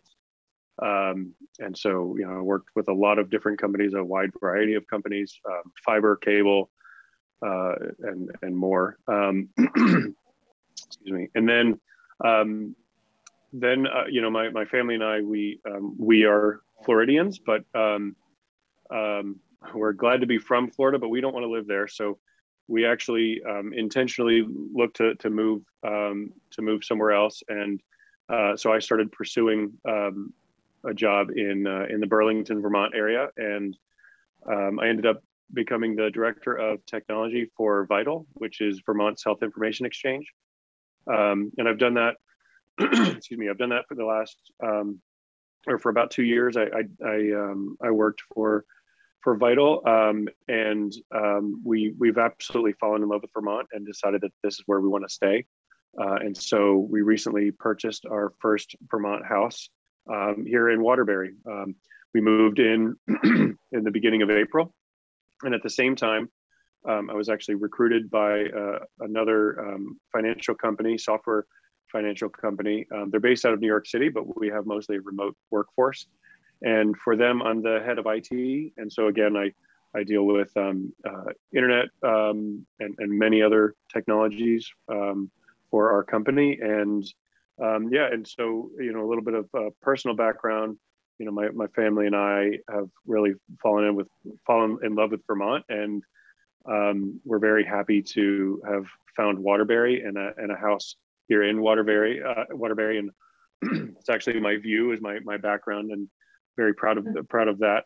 Um, but the, the one sticking point for us was um, um, just terrible, terrible internet um, options. And, you know, I, I'm, I'm lucky enough that um, I know technologies and I have, I have a very fancy home network that allows me to take the multiple terrible internet options that I have and sort of combine them into one mediocre uh, option. Um, but it's still, you know, most, most people don't have that that luxury, um, and I want to I, I want to give back to the community that I have recently adopted, and and that's that's kind of what I'm what I'm hoping to do. And, and uh, in fact, you know, I was I, have been here the whole meeting and and uh, have enjoyed you know learning about the bridge project and and other things. Um, and right as we were starting to go into this process, my wife decided that she was going to watch TV. And I had to go tell her to stop because I can't do this Zoom call and watch TV at the same time, which I think is uh, so. It's certainly something that I um, I, I, feel personally, but I'm I'm off, obviously very fortunate that I I can deal with this problem myself, and I'm sure there's a there's a, a much larger underserved community that that doesn't have the the tools available to to deal with that, and I'd, I'd like to help in any way I can. Great. Well, thank you very much. Uh, questions from the board? What are your current internet providers? So I, I have um, I have consolidated DSL at seven megabit by 700 megabit. That's my primary. Um, and uh, and then I also have a T-Mobile hotspot with 100 gigs of data. Um, and then my home network allows for uh, two internet connections and, and it load balances between them. And so if one fails, the other one can pick up. And I was affected by the power outage last night. Uh, mm-hmm. And thankfully I was able to, uh, my, my um, hotspot is on, uh, does work on a battery for about eight hours. So. So Comcast does not serve your home either? No, um, but I did. I did reach out to them, um, and they were willing to serve my house for just over thirteen thousand dollars. What a deal. Okay. Where in Waterbury are you located? I'm uh, I'm just off of two, um, pretty far west, almost to Bolton. Um, so if you go past the fairgrounds uh, and then go back under the interstate, um, on the right hand side, there's a little road with three houses, and I'm one of the 3 mm -hmm. All right, any additional questions for Chris? Thank you very much. Um, we'll be making a decision and let you know. Um, we need to pick a, a main delegate and alternative, so. Thank you very much. Thank you. Thanks, Chris. Chris. Um, do we want to make a decision tonight or do we want, what's the time frame on? There is a board meeting coming up. Uh, bear with me, I wrote my notes. Um, August 9th, Tuesday, August 9th, there's a board meeting. It would be Yeah. awesome if you could make a decision tonight. Okay. If you want, to, one, one suggestion, you could go through your other business and come back to this possibly, Okay. since Um, we have other guests. do we want to do that and Let's we're go. already behind? Okay, great. And we will move on then to the Act two fifty discussion. with John. Thank you for your patience. We apologize for. being- Oh, it was, uh, the bridge project was very interesting. I was. I found that fascinating. I live in Meadowcrest, so I am one of the people that occasionally walks across the road, mostly drives across it. So it's nice to see you doing that project. Um, Cool. Well, I- I'll, I'll let you introduce yourself and, and we've got John as well. Um, they're both from CLiF and I'll let you explain what CLiF is. So for those who don't know me, I'm Duncan McDougall, um, and I live in Waterbury Center on Loomis Hill. And uh, almost 25 years ago, I started a nonprofit out of my home called the Children's Literacy Foundation. You may have seen my red car driving around with a smiley face on it. And um, we have worked over the past twenty-three years with uh, more, almost three hundred and fifty thousand kids across Vermont, New Hampshire. Our target audience is low-income, at-risk, and rural kids from birth to age twelve for every inch of the two states. Low-income housing developments, uh, homeless shelters, work with refugee kids, migrant kids, work in prisons to connect inmates with their kids through literacy, work in schools, libraries, etc. It's a long list. So long story short, um, we have been working above my garage on Loomis Hill, and um, we work wherever the kids are. So we don't have any kids coming to us. Uh, we just have a little office where we organize all of these events. And um, over time, we've just run out of space. So we're looking for, uh, after 23 years, a new office. And uh, we love Waterbury, Waterbury Center, and we absolutely want to stay here. Our staff members live around here. They want to stay here. And um, after more than two years of searching, we found a location, the old Tile um, property, which is kind of across from Cold Hollow Cider, where the building burned down. It used to be the auction barn. Um, and so we have a purchase and sale agreement with the Graces, uh, and, Robert Grace. And our sincere hope is that that will be um, our new location. Um, one challenge for us as a small nonprofit is that it's a 1.4 acre property. Um, and yet uh, we would have to go through Act 250 under the current guidelines. And most towns in Vermont um, have a 10 acre um, limit, and here it's one acre, even though Waterbury has um, zoning. So is the question that we wanted to raise. It's going to be financially challenging for us actually to go through Act 250. It's going to, time wise, it's going to slow us way down. And so we thought we'd raise that issue. And I'm here with John Petrowski, uh, TCE Engineering. We hired um, his firm uh, to do the engineering for us and the permitting. And in a second after John speaks, we'll hear from John Vogel. Uh, John is a board member of the Children's Literacy Foundation, and he is the chair of our building. So I'm going to pass it over to John. So I'll be really brief. I actually came and met with this board maybe three years ago. I knew you were here, Chris. And we had a conversation about Act 250, and that's all this is tonight. There's no pressure. We're not, I, I think we're asking you to think about it, to talk about it, um, and perhaps consider um, not being a one acre town. And that maybe is not a decision you make. Maybe that starts here and goes to the planning commission and others to, to get us there. But um, I came and talked to you because we were going through a project a few years ago, the Parro Gun Shop. And so we had the benefit of going through that project with Act 250. And I have the, I've come out on the other side and I can give you a little bit of insight as to how that went.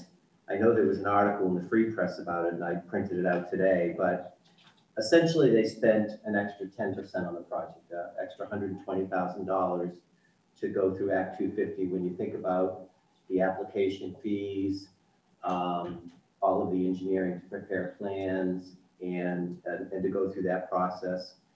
And then um, in addition to that, it created you know months of extra review time and more hearings.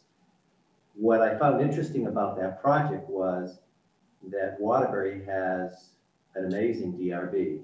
They reviewed the project in detail and permitted it. And later on, when we went through Act 250, there was essentially no changes. The project the DRB approved that went through the scrutiny of this office or, or the town of Waterbury uh, is pretty much the project we built.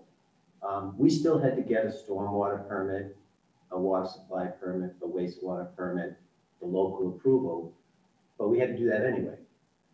And uh, Act 250 was really more a clearinghouse. Um, the other really um, kind of unfortunate thing that happened with the Parro project, and you'll be exposed to this potentially as well, is that VTrans showed up. And they said, because you're an Act 250 project, we can ask you to help pay for road improvements on the state highways. And so they came up with, initially, with something that was $45,000. They wanted a check to help pay for some of the uh, um, projects that were fully funded by the federal government, complete, but weren't complete for a time frame that um, allowed it to be, um, you know, not an issue. And so VTrans um, asked for 45,000 Uh, we negotiated in good faith with them and with, uh, Bill Shepeluk got involved. He helped us a little bit on that because it was kind of a surprise, you know, uh, surprise extra bill. And, uh, fortunately, they negotiated down to sixty-five hundred and, and we agreed in good faith and the process ended. And, and Henry Parro paid that fee. But they started with something that was scary, forty-five thousand on top of what um, Henry Parro had already spent. So that's kind of the other side of a project that, you know, I had that conversation with this board beforehand, and then we went through Act two fifty, and that's the experience we had. It, it really didn't change the project, but it added a lot of burden and cost. So in the case of CLiF, which is a nonprofit, you know, we're paying attention to cost. And we wanted to have that discussion a few years later now to see if maybe um, we've reached a point of where um, Act 250 doesn't have to be a one acre town anymore. And Steve probably could explain this better than anybody, but if, if towns have permanent zoning and subdivision rules, then Act 250 says for commercial projects under 10 acres, there is no jurisdiction. Um, for towns that don't have permanent zoning and subdivision rules, it's one acre. In the case of three particular towns, Benson, Brandon, and Waterbury, um, the town has made the decision to remain a one acre town, which is the town's right to do that. And all I would say about Waterbury zoning is it's, it's not the best, it's not the worst, it's pretty solid. You know, it's middle of the, middle of the pack. I deal with I've been doing this 38 years, so I dealt with a lot of regulations and Waterbury's regs are thorough and that project didn't change. Um, that's one good experience, you know, that's one example. Maybe there's some projects that Act 250 really mattered. You know, uh, when I heard about Act 250 and I started my career, it was really about regional impacts and protecting towns that didn't have zoning and it was important. And I believe in Act 250. That's why our state's so beautiful. And um, the gentleman that was just speaking, that's why he wanted to come to Vermont, is because we are a beautiful state. And I've been to some states that don't have Act 250 and, and, and, and allow just anything to happen, and it's terrible. Um, so I, it's not, I'm not against Act 250. I work with them all the time, and I do many projects, but it's a cost to benefit analysis. And is the cost to CLiF or in the case of Henry Parro, is that cost worth the benefit that the community is gaining? And I think it's all I ask that you just think about it and give it some consideration. And um, we're probably we're probably several months before we even get to the point of applying for Act 250, but it could add 10% to the cost. And for a nonprofit, that's a big chunk of money. So that's I'm being brief because I know this is late. Um, and John is part of CLiF. So, John, maybe you could just uh, say hello and, and offer a brief uh, statement. Yeah, thank you, John, and thank you to the members of the select board who have to stay quite late tonight, and I will also be brief.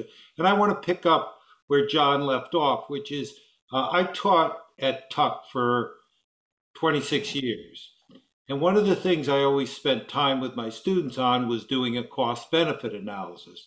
In every decision you make, you know, what's the cost, what's the benefits? Um, as John indicated, for CLiF, the, the benefits of going through Act 250 are relatively small. The costs, both in time and in um, money, is substantial. Um, I would argue that for the state of Vermont, and that's something we ought to think about. The cost benefit analysis is also not very favorable.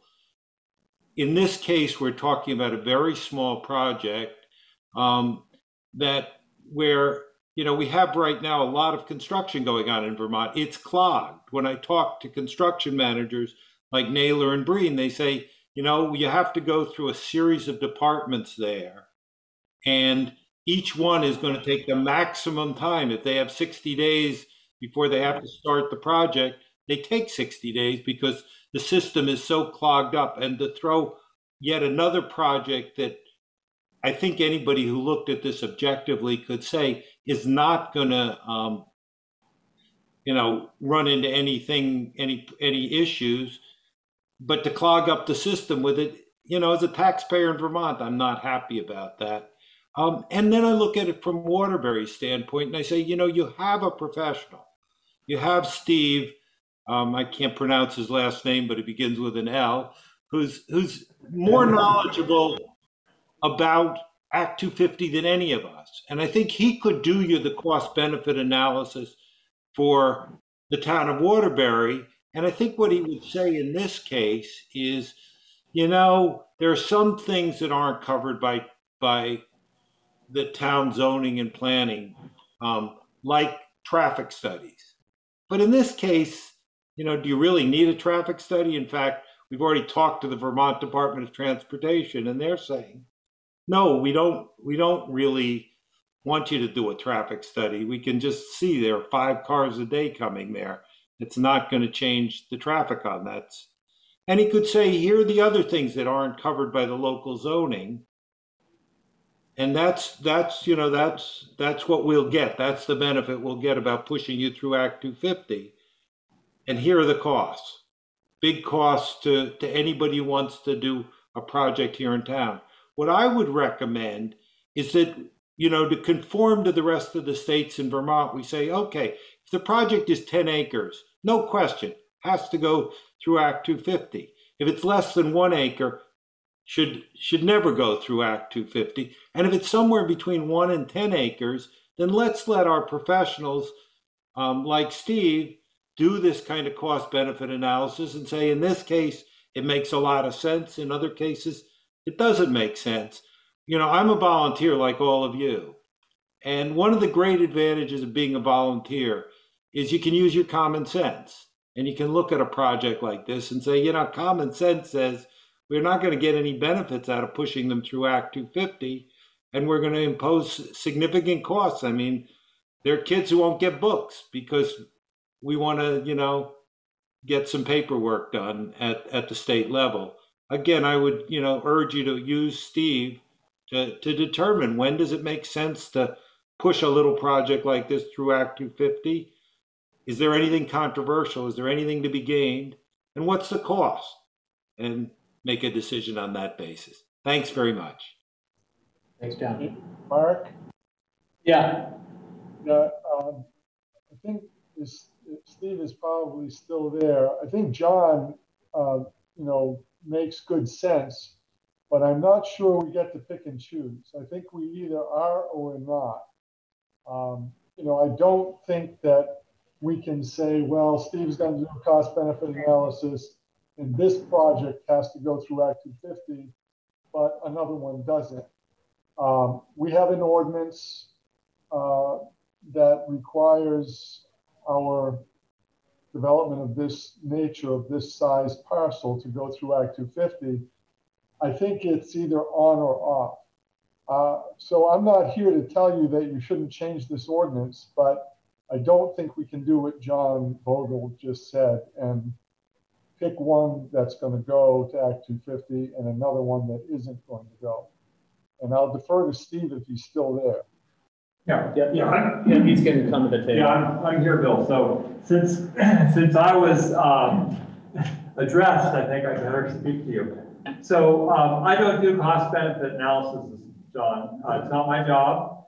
And also I'm a facilitator. Um, I don't make the decisions about development review. It's the decisions of the development review board. So I think I, I just want to be clear about my role in, in this. Um, there are situations where the Central Vermont Regional Planning Commission makes decisions about which projects have regional significance, and in some cases, they have decided that projects between one and 10 acres have regional significance. So I think, I think we have to be careful there, but. Um, Can you explain that real quick? What, uh, what the Central Vermont Regional Planning Commission yeah, does? What that, what that comment, what does that mean? Regional significance? Yeah. Well, so, so the, uh, this is a little bit of a sideline, but I'll try to be brief.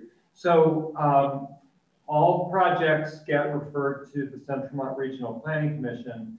They have to decide if under the Central Vermont Regional Plan, does this project rise to a level of significance either because of natural resource impacts or because of some other impact, impact on historic resources, something of that nature. Often it has to do with natural resource impact. So, Any project or one that's between the one and ten? well, no, it could be any project. Typically, there would be a larger project, but, but it might be one.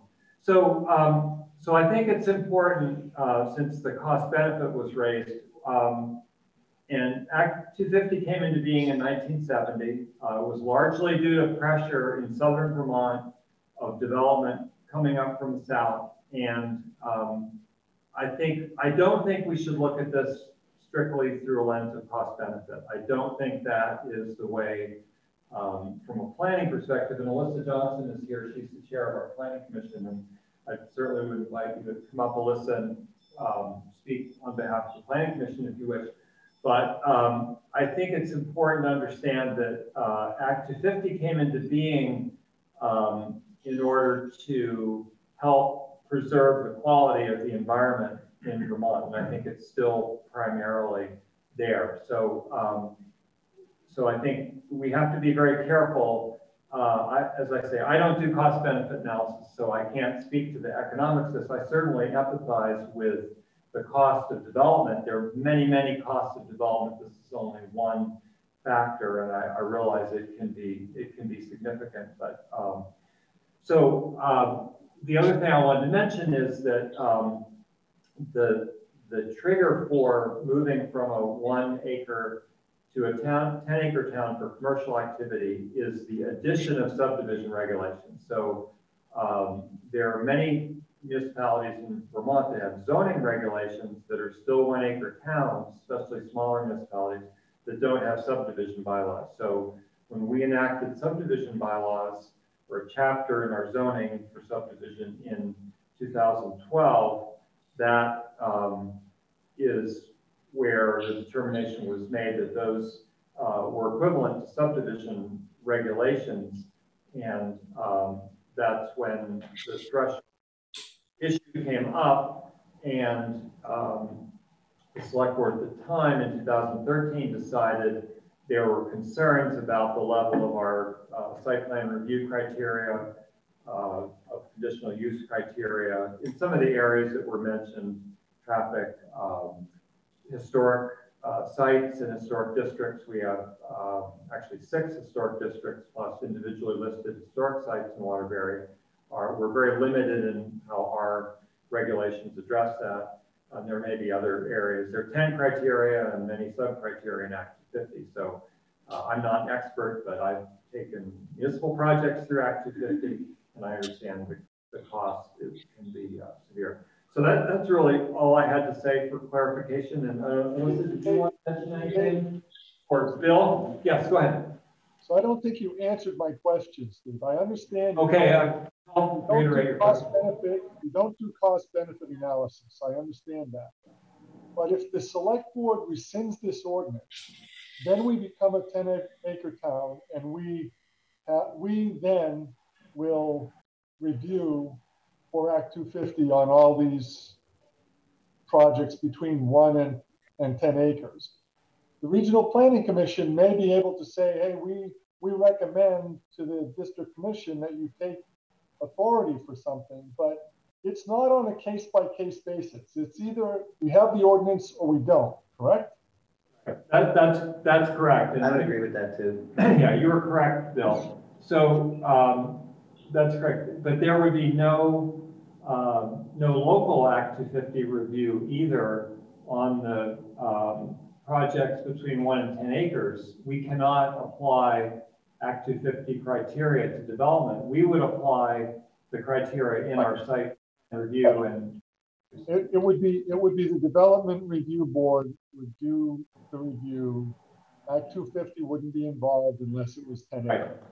And Yeah, that- that- that's all, that's correct. So the ordinance that we have now, we're a one acre town because of that ordinance, because we have uh, subdivision regulations. If the select board want to change this, and, and they may, you'd have to rescind that ordinance. Uh, you can't do that, well, you could do it tonight, I guess, but I wouldn't recommend that you do it. And it takes uh, 60 days for uh, a new ordinance to take effect. So it, it will take several months to get this ordinance um, discontinued if that's what the board wants to do. But I just wanted to be clear that we are or will not enact uh, a, a 10 acre town. We can't, it's not on a case by case basis. Yeah, that, you're absolutely correct, Bill. Could, could the, could the town of Waterbury decide to be a five acre town? That's what I was gonna know. Is one in ten the only threshold? Well, correct, that, my understanding is that the, the, um, state statute that allows us to have an ordinance, um, states that we can remain a one acre town, but we don't, we don't have a choice of some other option. It's one or ten. Either we move to ten or we're stay at one. Just, just as an aside, towns like Bolton, Fayston, Middlesex, Berlin, they made the decision, they're ten acre towns. So th- there's some towns that are a lot less sophisticated than Waterbury that are, that have already made this decision. Um, there's, like I said, there's only three towns in the state of Vermont that have made the decision, once they pass the subdivision rules, to stay a one acre town, and that's Benson, Brandon, and Waterbury as of uh, the list I just reviewed that's current as of April 2021. Um, From the Act 250 standpoint, I'm pretty tight with Susan Baird. And, you know, her take on it is they're happy to help. You know, they're, they're public servants. But with the pandemic and the project load they have, um, it's a burden. It's, it's extra work for them. In the case of the Parro gun shop, it was a, it was a duplication and a lot of effort. And, um, you know, it's not something we're asking you to decide tonight. We just wanted to open the discussion. Um, I started this discussion three years ago, and, you know, maybe the time is, is right now to, to consider it from a practical standpoint, even though he can't do the cost of benefit analysis. I know that this board thinks that way. That's the way you're thinking with the bridge project. I heard it. And it's, it's, it's a balancing act. Do you get something out of Act 250? You sure do. Yeah, I mean, being a one acre town does give you some extra review, uh, second set of eyes. I get it. It's not, it's not terrible, but there's a lot of added cost. And in the case of CLiF, it would, it would be an extra burden. Um, and so we thought we'd open this discussion again. What's CLiF's project timeline? Uh, our hope is to start construction next spring, if all goes well, but, um, you know, as anyone knows who's gone through Act two fifty, that timing is really hard to predict, so we'll have to see. So based on that piece of property, there's no existing type, um, regulatory system. In other words, the fact that it was already occupied with a building had certain, I guess, guidelines or criteria that that property, I mean, it was a, it was a car dealership years and years ago. It was an auction barn, you know, years ago. Uh, the traffic flow was for the, for the days that, in history that it was, it probably was as much of a traffic flow then as you would consider now of today, you know what I mean? So, So those uses predated Act two fifty, so they're, they're going to consider it based on a proposal today. And, uh, it's interesting, uh, the DRB approved that site for, I think, seven or eight units, a pretty, eight units, a pretty good sized building. They're coming, they're proposing a building that's essentially gonna be the size of a house, uh, a little bit bigger. Twenty-nine hundred And- square. and by then- yeah, that, that's what I, my point I was getting at. I mean, the- the fact that you're going in with what you're going in with, you would think that there'd be some huge consideration. It, it may be that the Act two fifty project, process goes quickly and smoothly, it may be, um, but it will be a cost. It will be, a it'll be a factor. And I'm, I'm not objecting to what CLiF and John are, are asking. I would just point out, though, that you can't use CLiF as the measuring stick. That CLiF is slightly more than an acre. Uh, it's gonna be low impact. We've got places up the road that are gonna be, you know, that are for sale now. And, uh, it's in the wildlife corridor. And, you know, maybe, so I understand CLiF's issue, And I don't want to put all the CLiFs in the world necessarily through that, but it's, you can't use CLiF's, really low impact situation as the barometer to measure this request. Because there's a lot of properties that can be developed that are between one and 10 acres that this would apply to. So um, just keep that in mind. And do we worry about those, the, um, the steps that we have in place already between, um, the DRB and the regional, uh, commission, can't remember what it's called? Do we worry, oh, this is for Bill, but that we don't have enough in place to make those decisions without Act two fifty? Like we talk about it being in the wildlife corridor, but do we have enough steps along the way without Act two fifty to feel confident that we're not disrupting or causing, you know, huge impact, or are we worried that we don't, you know, what I question clear? That was supposed to be for Bill. In the case of, in the case of Henry Parro's project, and that's, you know, everything that we did, we had to, we had to do the wetlands, the stormwater, um, the river corridor, the floodplain. We had to address all that anyway. I think a lot of that we had to address as part of the DRB review.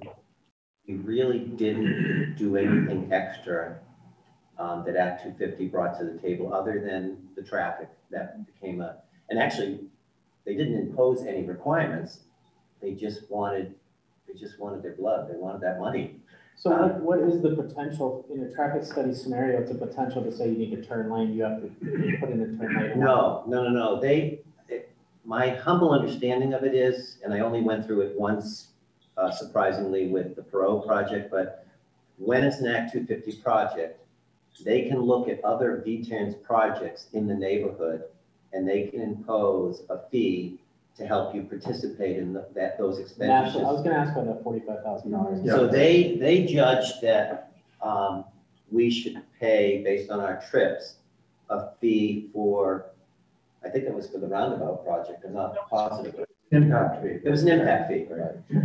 But that impact is only because Only because it's Carolyn's actually- project, if we were a ten acre town, wouldn't have ever been considered for an impact fee. That is absolutely correct. If we were a town and Yes. Right, yeah, and I, I mean, it was for the roundabout. I argued very uh, vociferously against the imposition of that fee. It was frankly an impact fee that was being applied retroactively. Towns can't do that. If towns, if towns have impact fees, you have to collect, you have to collect the fee now for something that you're gonna do in the future. You can't collect a fee to pay for something you've already done. And that's what the state was doing. And I pointed out, I said, look, if, if the guy across the street develops his property and it doesn't need an Act 250 permit, and he might have 200 cars a day, but he's under an acre and doesn't need Act 250, you don't get any money out of him. And uh, I think maybe the letter that I wrote and the testimony that I gave helped knock the fee down from 45 to 6,500. But uh, it, it, you know, it's clearly not something that I would want. And where CLiF is, I mean, they're they're far away from the roundabout, but I don't know how far VTrans would go back. They just, you know, reconstruct. We don't know either, I don't want to ask that question. So, so, so Bill, Oh, so Bill, you just made our argument perfectly for us, which is, you know, you were there arguing when you get into state regulation and all the people will do is follow the rules and not use common sense, you end up, you know, penalizing projects. And now you're throwing us into Act 250 where we're going to be subject to whatever regulations they want to throw at us. I think you just made our argument better than I could. Steve, Vermont Artisan was another one that had this scenario, correct? They're seven acre site, correct? What in that project would have been different if we didn't have Act two fifty in place, in your opinion? Like, I, yeah, I don't know, Mark. I mean, I, I can't really tell you. they still had to go how through our, something would be. so when it goes to Act two fifty, it doesn't go through our DRB at all, it has to go through us and then Act two fifty, right? Yes, absolutely. So, Mark, maybe I could Yeah, qualify. sure. I was on the DRB for both the Vermont Artisan as well as the um, Parro's project. I think we have a very good DRB with a lot of skills that can vet things out very effectively. the long-term implication, you have CLiF, who, yes, and I hear what Bill's saying very loud and clear, is that we don't want to pick and choose projects. You know, CLiF's is probably a great project, you know, it's probably something that the select board, the DRB is probably going to support, but there's probably going to be some other ones between one to 10 acres that might be a lot more controversial. So. But is it there for controversy? No, no. Well, Act 50, yes, it can. No, but my point is that I just feel like this, we have what we have in place to try to entice a certain amount of development. These are your ten acre projects. There's plenty of examples of towns that are able to take this on with less than what we have with the DRB and planning and everything else that I just, I, I've had a problem with this for a while. This is a great example of a concern I have for a project that just is over that one acre and potentially it's going to be difficult or who knows what you might run into along the way. It just seems like we're doing a disservice for some of these projects to, you know, thank God Bill's in place to write a letter to try to get out of 45,000, get it down to 6,500, but they still spent $6,500. And at the end of the day, you probably end up with a similar building with similar everything with the same grand list impact, but made them go through hoops that we have, but we have the power to say 10 acres and above, you know, so like, it's unfortunate that they don't give us an option between, I, I, I think we're all sitting here going, five, you know, or whatever, you know, but it's, and, and maybe that's a way to see, go to five and see how it goes. And then maybe in the twenty years, someone goes to ten, or we can make a decision and say, That, that's why statewide, there's a whole movement for Act two fifty reform. You know, Act two fifty is good for what it does, but sometimes it's, there's an overreach and there, it, it, it gets a project so expensive where it, it impacts, as, as you said, Mark, you know, that's where my concern is too. I'm concerned for the economic viability of small projects in our community. And I think it does affect, but I'm not, I don't think we're ready tonight to Sure. make, to make a decision. I'm not- I'm not, but if you, if you want the examples of some towns that, you know, there isn't a choice, you can't pick five, if you could look at some of your neighbors mm-hmm. that are doing ten and the burdens they face, I, I really, you know, and by thirty-eight years of doing this line of work, Act two fifty makes a difference sometimes, but usually it's on the big projects. Right. You know, a Shaw's Supermarket, uh, Costco, you know, the, the smaller projects under ten acres, it has a minor impact sometimes. Maybe there's more landscaping, a prettier building, less lights. Who knows? But in this particular town, your D, DRB addresses that and, and, and quite strong. And that's where it was also brought up, because the, the, uh, Regional Planning Commission, if it does have, you know, regional impact, you could have a two acre project that could have some significant regional impact. The, the Regional Planning Commission can step in. Well, let me, let me clarify that. So their determination of regional impact only applies to projects that would go through Act 50. So if the threshold goes to 10 acres, if there's a um, project on a two or a five acre site, Right. We it don't won't need go to through let- Act 250 unless it's a a larger housing project, which it might. But uh, they, they won't have any role to play. It'll strictly be local. So I just wanted to. But make you could have, you could have a four or five acre housing project that it could be, you Yeah, know, but have, over have 10 impact, Over 10 years. regional. I, I mean, I, I did try to say, you know, this is, this is the board, the board needs to make that, this, this decision. There were a couple of select board members, frankly, were the driving force between the last time when we adopted this ordinance to, to keep it. I wouldn't be doing my job if I didn't tell you that, you know, since 1986, I've been on one or another board at VLCT. And the VLCT policy clearly states that, you know, we should advocate for local control. Uh, we know our community better than the district commission does. We know what we can handle. And I agree with everyone who said that we have a, a good planning commission and a good DRB. They get in difficulties sometime. Uh, if, if there was never controversy, it would be a sign that they're not doing their job. I think that we can handle this generally, and I think that the League of Cities and Towns has has basically told the state, look, let us do our job and let us do it the way that we think is best. Um, so I, I think you that is the best advocacy that I could make to changing this ordinance. And the fact that there's only three towns that have subdivision regulations and and have the ordinance like ours, three towns including us. Uh, you know, maybe that's maybe that's the what we should be looking at. Why are we with these only two other towns and not uh, taking on responsibility that we frankly have been advocating for in, in uh, legislative policy through the League of Cities and Towns for a long time. So I know I'm, it, it might appear I'm talking out of both sides of my mouth. I don't mean to do that. I don't mean to do that, but I, I think that, you know, that's something that ought to be considered. And, you know, John and, and uh, Duncan have already told us, and, and the other John have already told us, you don't have to decide tonight.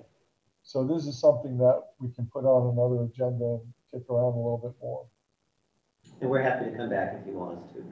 Yeah, I think the other thing I would suggest is to have a conversation involving the planning commission. The planning commission is working on our unified development bylaws and um, part of the previous discussion was that select board members felt that we really needed to uh, beef up, if you will, our review criteria that deal with our historic districts, our historic sites, your, your project is in an historic district. It's across from the church that's individually listed on the National Register. So I think, um, you know, looking at, at the, some of these criteria are important. And the Planning Commission is, is going to be doing that. So I would encourage you to have a conversation, you know, maybe a joint meeting with the Planning Commission to talk about this, make sure everybody's on the same page, because I know the Planning Commission members have some concerns about um, our, our bylaws dealing with site plan review and conditional use are predate my starting here. So they're they're over 30 years old. They have not been changed significantly since then. So I don't know if you have anything to add. I was going to be invited before I just invited myself up, but since we're doing the same thing. Come on, grab a chair down there. Yeah, please.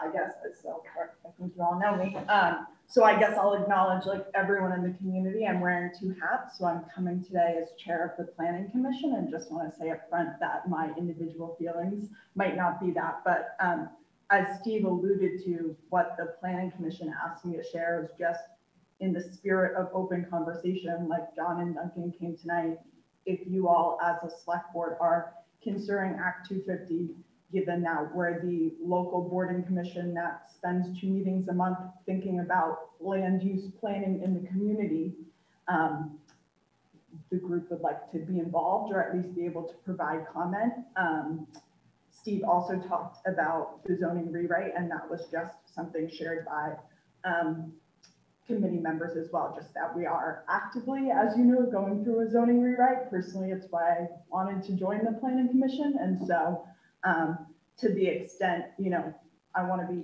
pragmatic and realistic with the planning commission and with John and Duncan. So like, we don't know what the, the timeline is for that, but I think as Steve expressed, it's been something that's been raised in terms of what an overlap might look like in that regard.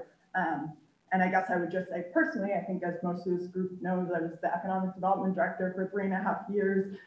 Chris Parro's memo about Act 250 was the first thing I got when I got into town. Um, you know, I would say just more of an FYI on the planning commission, but um, Bill Shepeluk and Steve and I had a meeting after Dina retired about some administrative updates um, at our last planning commission last Monday. We asked Steve L to do some updates because right now there's like a litany of technical and administrative updates um, that haven't been done in like 20 years. So we don't meet state statute in some things in our current regs. So just kind of furthering the theme tonight, I would just say, again, I'm not taking a stance personally and certainly not on behalf of the planning commission about if you should or shouldn't make this change. And I think the big message is we'd like to be involved, but I would just raise that one flag as a piece to say, there might be some minor cleanups before Waterbury zoning regs are ready for prime time with or without at 251 acre, but maybe especially without. So again, you know, the big, the big mesh is, you know, similar to what Mike said, is just the plan commission would be interested in being involved. Um, editorially, I mean, we have myself, we have Martha Staskus, who's a renewable energy developer. We have someone who works in campus planning. Um, I don't want to speak for other members again, or the commission as a whole, but I think this group would like to support sustainable development in the community and, and do it as quickly, but also being thoughtful about the full community impacts. Um, and this kind of, again, tough duality where maybe one project, it really makes sense. Or, you know, again, personally, I think it would be great to get to a place where we've done a rewrite, we feel really good, and then can come back with a really strong recommendation, but that's just me. Yeah, I mean, I think, I, I think it's obvious that we're not gonna make a decision tonight. I do think that just with the changes to the planning commission and, and, um, you taking overhead, we should do that joint meeting anyways. I think after what we went through in the last couple months, it makes sense to just check in with each other. This should absolutely be discussed on top of, you know, the planning commission's work and how we can help. So thank you for coming. I, I appreciate everyone's time. I think we all need to think about it and we need to have those conversations and understand exactly what that decision means. But I do personally hate hearing that it might create problems for these projects that are between one and 10. And I, I personally would love a day that we get to a point where we can handle them in Waterbury without sending them back to I have a couple things before we move on. Um, can we make that, whether it's, um, in the parking lot or even on the next agenda, to, to, to reach out and create a joint meeting, so it's not one of those things we Yeah, wanna do and don't do, so just actively put that on the, um, Totally agree. to-do list. Yeah, we got Um, scheduled. Yeah, and then the next is are there, are there other voices, are there other, um, people that we could benefit from bringing into this conversation? And, and let's think about that, um, as well, other, I don't know if she'd be willing, but Susan Baird would be a great resource as the district coordinator. Yeah, I just want to make a point though, John, if, um, if projects between one and ten acres do not go through Act 50, if the changes, Sue won't have any involvement. I mean. She won't. Right. She, Put she's, on the decision. on, Yeah. off the record, she's, it's been a burden to their office to have to manage extra projects from Waterbury that they wouldn't normally have to manage. They're, especially with the pandemic. Uh, you know, they're, they're just behind and it's, and that's why we're worried about a delay is um, going through Act two fifty post-pandemic or during the pandemic, everything slowed way, way down. Steve, do you have any kind of numbers, how many per year that we have these one to ten acre? It's very, it's very. I don't, I don't think we have Par- many. Parro's was the last one. Right. Uh, in that one to ten acres, so That was it's, a couple of years ago. Yeah. yeah, then one every For a five, few six years. years maybe. And I wouldn't have come back except it's so applicable and. Yeah, well, sure. And, and, I, you know, after seeing what happened to Parro and thinking about how well the DRB works on projects that I, I just really think you guys have got, you've got a good, a good town that's managed well and better than many towns that I deal with. And I, I don't think you need Act two fifty, but that's my humble opinion. Thank you, Tom. Thank you. Thank you. Thanks, guys. Thanks for your time. Thanks, John. Thanks, John. Thanks for coming. So all set? Yeah. Okay, thanks. Thank you. Good luck, Duncan.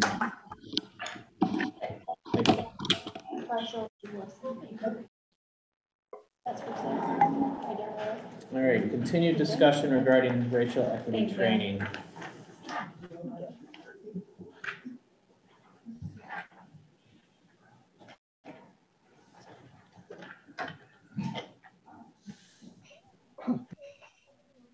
Okay, um, Carla is passing out a, uh, and the contents of an email that I got today, very late this afternoon. It was after five o'clock or just before five o'clock that I got this from Mary Gannon. And, um, she and I talked last week and, uh, you know, I think that the two sessions that we have had have been quite good, but we've ended up kind of talking about issues that um, are kind of front and center for the for the select board right now, which is a fine thing.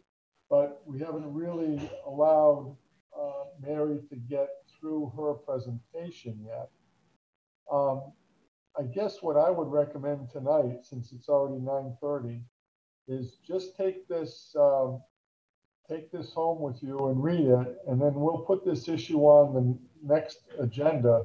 Really, we're trying to decide whether the select board wants to have one more session or not. And, um, you know, I think reading this from Mary will give you some insight into what she sees. Uh, she thinks that it would be helpful. Obviously, she gets paid to do it, so some could say, well, she's got a vested interest in in recommending that. But I think that uh, she makes some good arguments there, and I would leave it to the board. You know, if you want to put this on a, uh, on your next agenda, that might be the best place for it. Okay. Uh, any questions? We're gonna take this home and we can discuss it.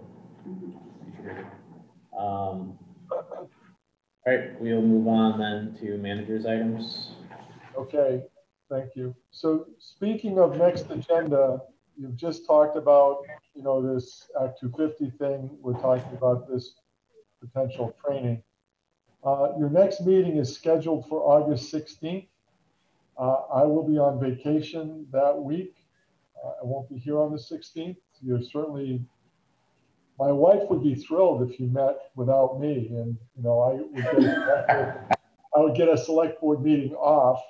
But um, there are five Mondays in August. So um, there's a potential to move the meeting either to the 23rd or the 30th and still have uh, be involved if you wanted that.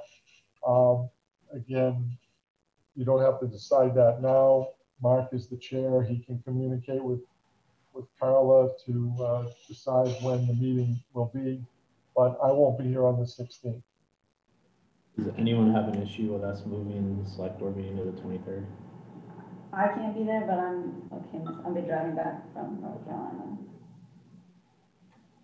I mean, obviously, I think it's good if Bill's in town. We, we would have a forum otherwise. Yeah, fine. I'll be in town. Um, yeah, I think we just move it to the twenty-third. I think that's fine. Okay. I may be out of town, but Bill can cover my absence. Yeah. Carla will be missed, but we can take care of Or Karen. the minutes and stuff like that. Um, okay, so does everybody have the budget report? Do you want me to put it up on the screen? They have it, We all have. or I can share it, either way. Are there people watching that want it on the screen? I would only be Christopher or I don't. Lisa or Linda. Bill, um, can I ask a quick question? How long do you think this will be? I, I know that, uh, Linda and Christopher are here. I'm wondering if maybe we can shift that up real quick so they don't have to sit through this part of the meeting. Is, is the, are you and is the board okay if we maybe just move that quickly? Yeah. Is that okay? Yeah, I can wait. Okay, um, thank you for your patience. Chris, thank you, thank you for your patience. Um, The joys of service. yeah, I mean, um, obviously we need to pick someone. I think all three candidates are incredibly well, like versed in being able to handle this. So, um, you know, we need to pick someone who is the main delegate and the alternate. Um, I don't know if anyone, it's a little awkward that we like do it publicly in front of everybody, so we apologize. Um, I don't know if everyone wants, I don't know what the way to do this that is fair and whatever. I don't know if everyone just, I don't know. I don't know how to do that, but I do think we should just make a decision. Um, I don't know if everyone wants to just quickly speak on their number one and number two choice, and I'll try to keep track and see where we landed. Or we can do, can we do like, uh, well, we do a little ballots or I don't know. Yeah, I'll be honest. To me, Dennis, just because of his lack of ex- experience, direct experience, is, is my third candidate. You know, between the other two candidates, they're pretty equally matched. And, You know, sometimes I almost want to give a little more experience to someone who's been here a little more time and maybe knows a little more, nothing against Chris. I know that's, it's, I think he would be a very good candidate, but I think, you know, based upon that, it's Beth? Linda. Linda. Lin- Lin- so my choice would be Linda and then Chris would be the alternate. That's exactly what I was gonna propose as well, so they're all in on that. Hundred percent with you. Yeah, that would be my choice. Now, is there an opportunity if for some reason between the two of them, if they wanted to switch places? Because- Yeah, I think so. I mean, because basically, one- One, it would be alter, alternate, meaning, I'm assuming, Steve's not here anymore, but I would think that it would be if one person can't make the meeting, the other one represents, and mm-hmm. hopefully if one person decided they didn't want to participate anymore, the other person would step up and we would go find an additional alternate. if it was too much, if it was too I- much. The one thing I don't know on this for both candidates is if you both can attend the meetings or Yeah. plan to attend the meetings and help each other with scheduling. So that's an answer that we would need to We get. used, we used to do that all the time on the DRB. Our alternates, we almost looked at them as regular members, even though they were alternates. So, you know, we didn't have enough of a quorum, they were ready to step in. So if they could both attend meetings, I think that just gives us more of a brain power going into meetings. I think that's acceptable. Yeah, But and Linda would have the first say in terms of voting. Bill, maybe you know the answer to this, but this potentially could mean an alternative for Comcast users as well, right? As they go along, does this mean that they're only identifying and working with CV fiber? I mean, obviously, the properties that are quote unquote underserved are priorities, but as they pass houses that already have maybe Comcast, can those potentially become fiber candidates as well? Yeah, I don't know a lot about what CV fiber has been discussing. I, I, my guess is, Mark, that would be the case. Um, you know, the unfortunate part is that because we, as Steve suggested earlier, because we have, um, in comparison to many communicate, many uh, communities, we have very good high-speed access here. We have only pockets of our town that don't have it. And because we haven't been part of CV fiber uh, until now, um, you know, we're kind of behind the curve a little bit. And whether they can adjust what their recommendations are in the short term to include Waterbury or not, that's that's going to be the first question I think that's going to have to be asked. But I think everything is on the table, Mark, that if they decided you know, that there's a way to um, go up Ring Road with something other than Comcast, that other people along the way could choose that alternative as well. I would hope that we could do that and have a more competitive marketplace instead of everyone feeling they have one option. So I would hope that this include any property in Waterbury in the future. This just gets us on that path. Um, Comcast keeps raising prices, and so it would really be good not to have a monopoly. in town. Sure, competition's good. Um, okay, well, I think it sounds like the board is voting Linda in as the main delegate and Christopher as the alternate delegate. Um, if that works for everyone, I'm not sure who is the liaison moving forward for the delegates and the town and this group. Is it just, how, how does that work, Bill? Do you know? Who would they be working with or communicating? Is it with Carla and who hands them off to CV Fiber as our? Probably Steve. Okay. So Steve would be the, what we'll do, once you appoint folks, uh, Steve will communicate with CV Fiber, let them know who the, who the uh, representative and the alternate are. And then the, then CV Fiber will contact these people. So Steve will be the, the one who actually sends their name off to uh, CV Fiber. Okay, I will take a motion. I move that the board appoint uh, Linda Gravel as main delegate and Christopher Schenk as alternate delegate to CV Fiber. Second. Okay, any further discussion? All those in favor, please say aye. Aye. Aye. thank you very much for volunteering to do this. We look forward to hearing the progress and yeah, if there's anything we can do as a town, Maybe let us know. Carla can send, um, information for contacts. Sure. Um, I would love Christopher's contact, so. I'll shoot you all an email tomorrow and copy Steve. Great. Great. Thank you very much. Thank you so much and thank you all for very being, much.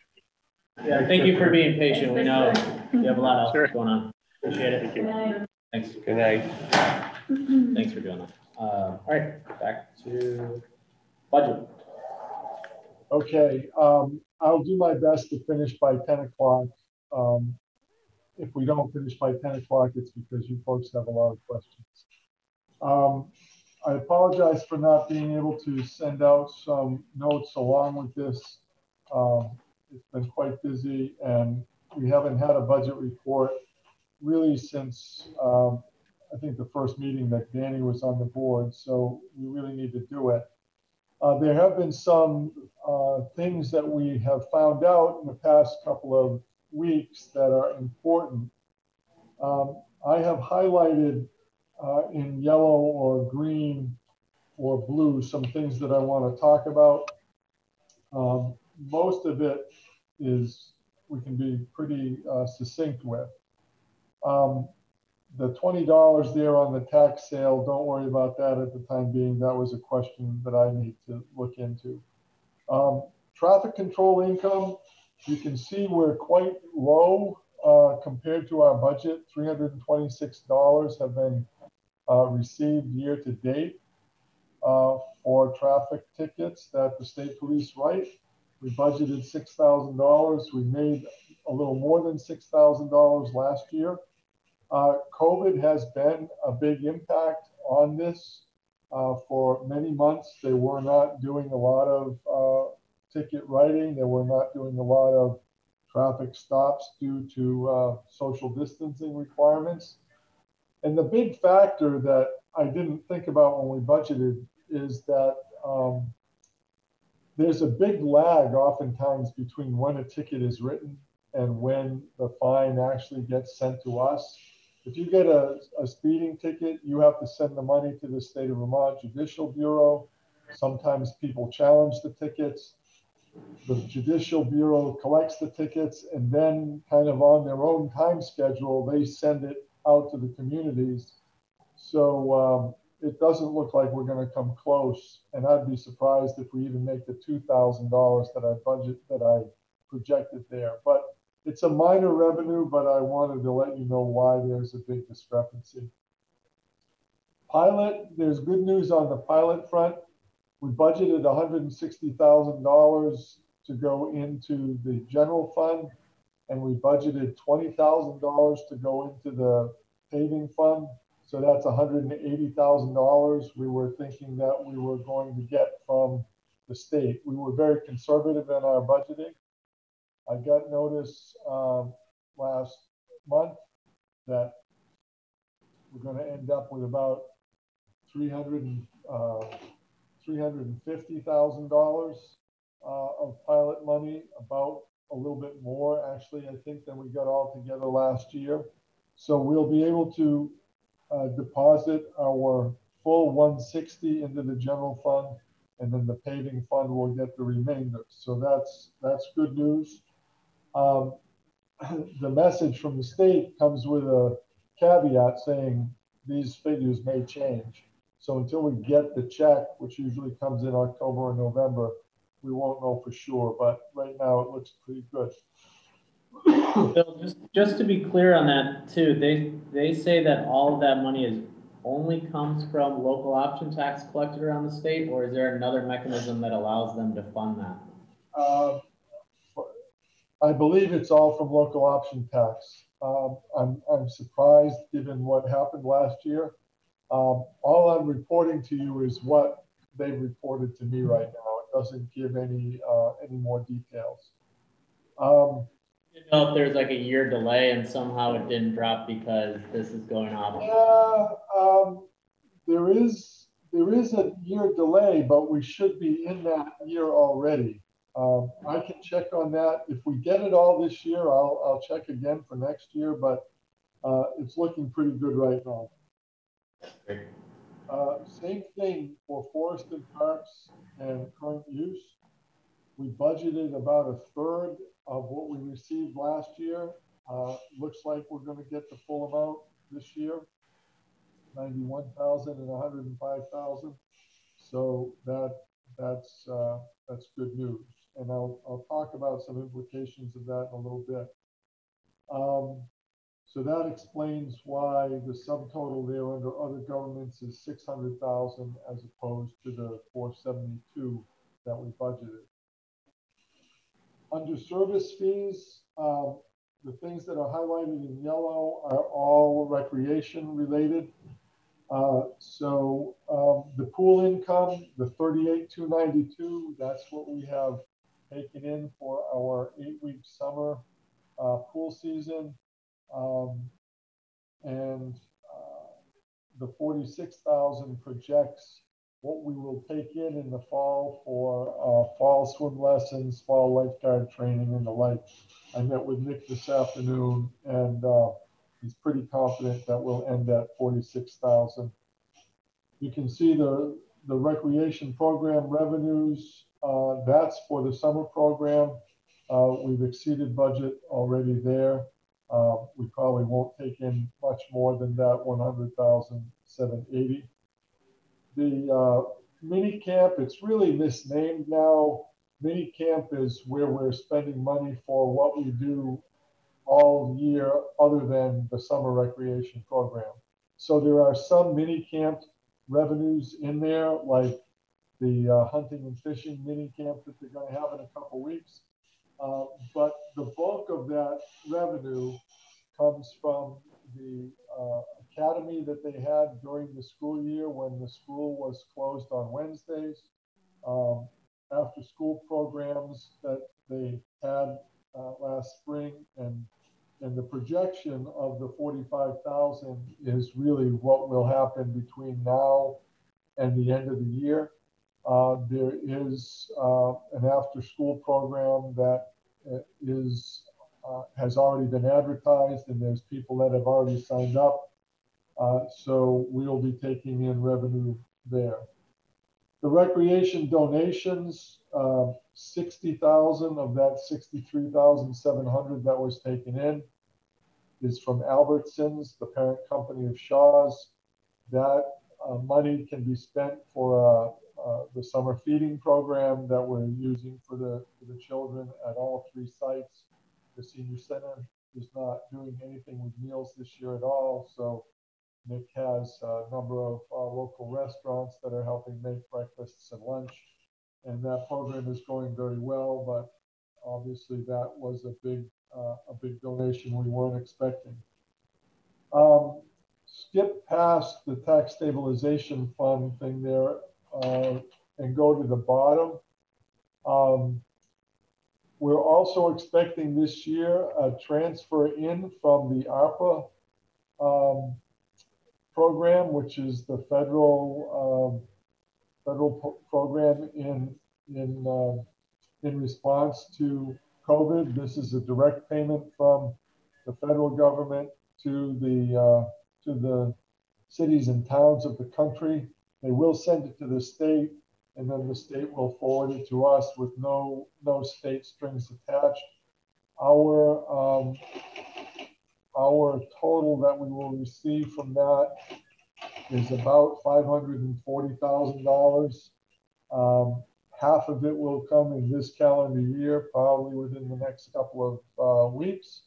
And then the other half, another 269,833 will come in calendar year 2022. So if you look back at that um, the one in green there from tax stabilization fund, we have budgeted to transfer $50,000 from the tax stabilization fund to the general fund. Um, right now, the tax stabilization fund is doing okay, but um, on these revenues right now, if we if we do take in um, that $50,000 from the tax stabilization fund, our revenues are projecting at 3,502,000, about a half a million dollars more than we projected. So we don't have to decide tonight, but my recommendation probably will be, let's not transfer any money out of the tax stabilization fund this year. Let's let it grow and uh, use it some year down the road when we need it. I don't think we're going to need it in 2021. Uh, very quickly, unless, does anybody have any questions on the revenues right now? Bill, on that half a million dollars in excess revenue, do we just leave that? What do we do with that? And is there an opportunity to potentially, do we need to make a decision at some point to move that to CRP or maybe even fund more into the tax stabilization fund? Yeah, so, so I think both of those things are things that we should talk about at some point, Mark, but really for the purposes of um, how municipal budgeting and finance go, we probably should just end up with a bigger fund balance at the end of this year and then in our budget discussions for next year, decide where we want to put that. Uh, I don't think we should do it necessarily this year. On the ARPA funds, that 269,833, um, we can we can consider that as um, we had lost revenues enough in 2020, a year ago, that we can bring this ARPA money in and we can say that it's going to replace revenues that we lost last year. And that just falls to the bottom line. Uh, when we do our budgeting, we will have to have some hearings on how we're going to use the ARPA money. But if we consider it lost revenue, then we can just appropriate it and basically use it anywhere we would like next year. It will have to be appropriated by the voters. If we didn't have that lost revenue, uh, and we do, but if we did not have that lost revenue, there are some restrictions on how we can use that money. In other words, we couldn't use that money for roads and bridges if we didn't have lost revenue a year ago, because there's going to be an infrastructure bill that comes down the pike, and they don't want uh, last year this ARPA money being used for for infrastructure, except to do things that were put on hold a year ago if you lost revenue. So we can talk about it all uh, later this year, uh, but I think it, it will be best, Mark, if we do it all in the 2022 budget process and decide where to park money at that point. Any other questions right now? So I'm going to go quickly through the general fund expenditures um, on the um, in the general fund. It looks like we're going to be spending about fifteen thousand dollars more than we had appropriated. Uh, there's two main line items that uh, are over budget right now. One is uh, computer services. I told you about the, you know, a couple of months ago, I told you about the hack that we had into our system. Uh, Bob Butler, IT tech uh, contractor, had to do quite a bit of work in the system, and that's where the major overspending is there. I'm projecting out for the next, um, you know, the next through the end of the year that we'll probably spend about $5,000 more. Um, I will try to offset that uh, you can see the professional services other line is uh, way under right now. And then there's office supplies that is somewhat under, and there's new equipment down toward the bottom. I'll try to kind of pull in the reins on those three lines to try to uh, to offset that. Legal expenses are higher than anticipated as well. We've had uh, a couple of different things that we've needed attorneys for that we did not really plan for at the beginning of the year. Um, and uh, it's it's kind of an unknown. Uh, we we you know things have come up that we needed attorneys for, and uh, you know a few years ago we we decided we were going to budget twelve thousand dollars a year for legal. We haven't spent twelve thousand for a couple of for a couple of years now, but this year it looks like we're going to go over that amount. Uh, it may not go over by the full uh, you know, sixteen, three sixty-one, we're not even at ten yet. So I'm hoping that maybe we won't go over there as much either, but the general government looks like it's gonna be a little bit overspent. Um, if you look at the fire department budget, same thing there. We had a, we had a. Before we go on, I have a question. Yeah. On general government, like, where is Mary's university training, where is that showing up? Um, training? The training line, six thousand dollars. About two thirds of the way down from the top line. Highlighted in yellow. Okay, I see that now. Okay. So that six thousand dollars assumes we have one. Professional expenses or something like that, that's why I was surprised. What's that? Nothing, Bill, you're good, fire You're good. Right, if you look in the, if you look in the fire department budget, vehicle maintenance, we've already spent twice as much in that line item as we had budgeted. We had a, a significant problem with the uh, aerial ladder truck. There was a problem with the turntable, uh, hydraulic pumps and the like. We ended up having to send the truck to Connecticut. It was out of service for a couple of months. Uh, and it had to be, it had to be repaired. Uh, there was uh, really nothing that could be done. If we didn't make the repairs, we would have just left it in the garage because you couldn't use it. So we had to spend that, that money to uh, fix the, fix the truck.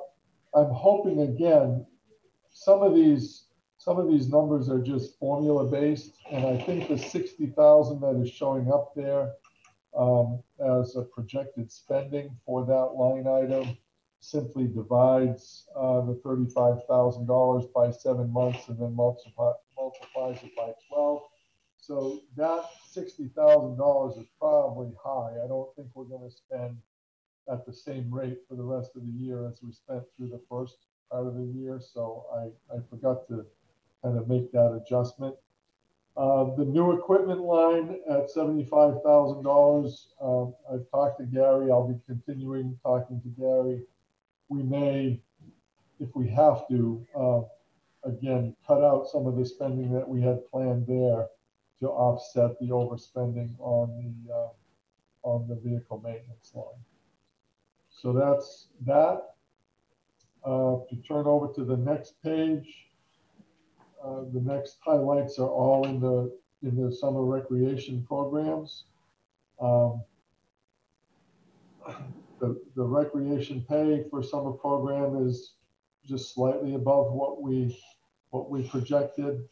The uh, the camps, uh, school and after school programs used to be called mini camps. That's uh, projecting out at $25,000 because of what we're planning to do in the fall, in addition to what we already did in the spring. Uh, we've already talked about the revenues that cover that.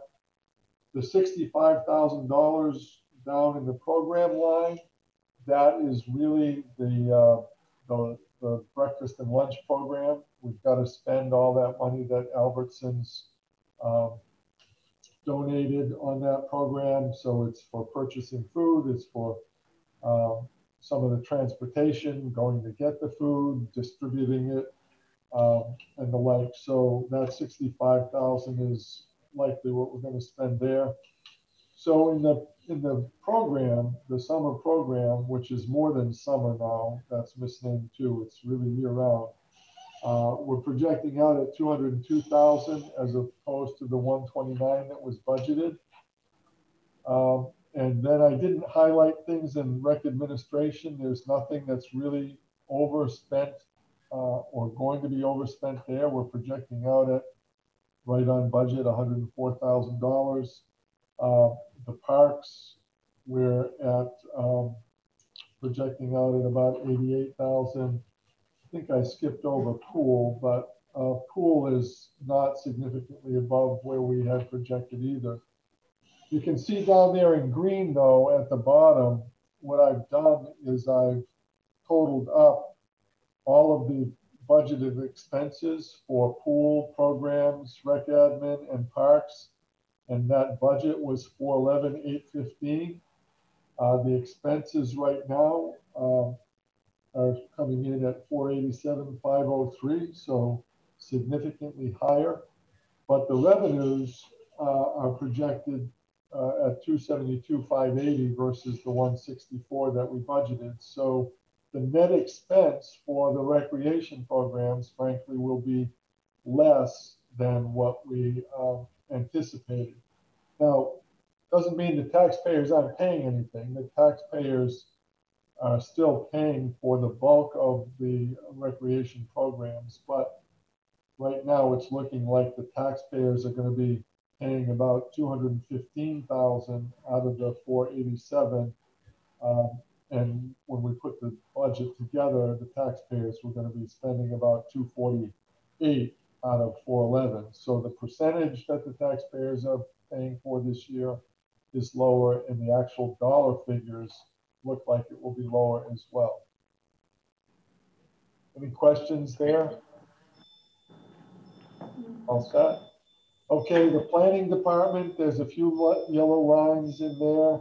Um, uh, you know, Steve's pay is going to be up a little bit. Uh, he's doing uh, zoning administrative work right now and will be continuing that through the time that we hire uh, the, the position that we're trying to um, uh, recruit for, you know, to replace Dina. You remember you you have authorized us to restructure the department a little bit. So those two pay lines, I think that Steve's line, which is regular pay, is uh, going to be a little bit over budget, and the zoning administrator line uh, or the assistant planning zoning director that we're going to call it now will probably be a little bit under. I don't know how much. It's all going to be a factor of how long it takes to get somebody hired. Uh, we've advertised. We've got a number of candidates right now. Uh, not too many real qualified candidates yet. So um, we're, we're going to take our time. We're going to try to hire the right person who has the qualifications that we're looking to have. Uh, but uh, it's a tight job labor market right now. There's there's many more people looking to hire people than there are people wanting to be hired right now. So it will be a little bit of a challenge, perhaps. Health insurance, we're going to underspend that because uh, we're going to have at least one month that we don't have somebody taking health insurance. Dina was taking that. Um, you know, we're heading into August. We won't have anybody working in August. So that could go lower than, than what's projected there.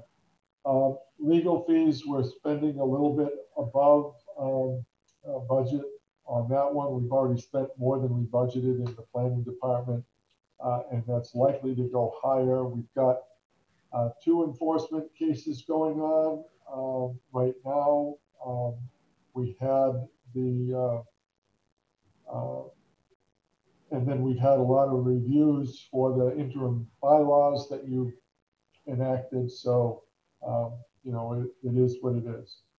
Um, planning revenue, we didn't look at that on the first page. It's, it's tracking about where we expected it would. Um, planning fees, we budgeted 24,000. Right now it's looking at like it'll be about 21,000 or so coming in. So it's a little tracking a little bit behind right now, but uh, we may we may pick that up during the rest of the year. And really, that's it. Um, debt management, we had to just do a modest amount of um, tax anticipation borrowing from uh, EFUD. Um, there's a there'll be another uh, $300, three or $400 worth of interest that we owe there perhaps. Uh, but I'm thinking we're past the stage that we're going to have to do much more tax anticipation borrowing. So we'll probably save money there. If you look at that last page under special articles, uh, we'll spend all of what the voters appropriated for special articles. Uh, given that right now our expenditures are tracking about $100,000 more than what we budgeted. But remember, most of that is in the recreation departments. Um, you know, that that food program in particular, um, and a little bit in the general fund. So the hundred thousand dollars um, above budget as far as expenses are concerned, as far as the projection, will be offset by those revenues. So we anticipated ending the year with an eleven dollar negative fund balance. Right now, it's projecting that we'll have about three hundred and twenty-five thousand dollars to the good. If we don't transfer that money from the uh, from the tax stabilization fund, we will end the general fund with about a two hundred and seventy-five thousand dollar fund balance. Obviously, this can change. We've still got, uh, you know, what, five months to go in the year. Um, we don't know exactly what's going to happen with tax collections. I'm hoping that we'll do better than last year, but um, things are looking pretty good right now as far as the general fund is concerned. I'll take one minute to go over the highway and the library funds. There's uh, in the in the highway fund. There's good news. We we budgeted only $85,000 for general state aid. As you can see, we've already received more than we budgeted.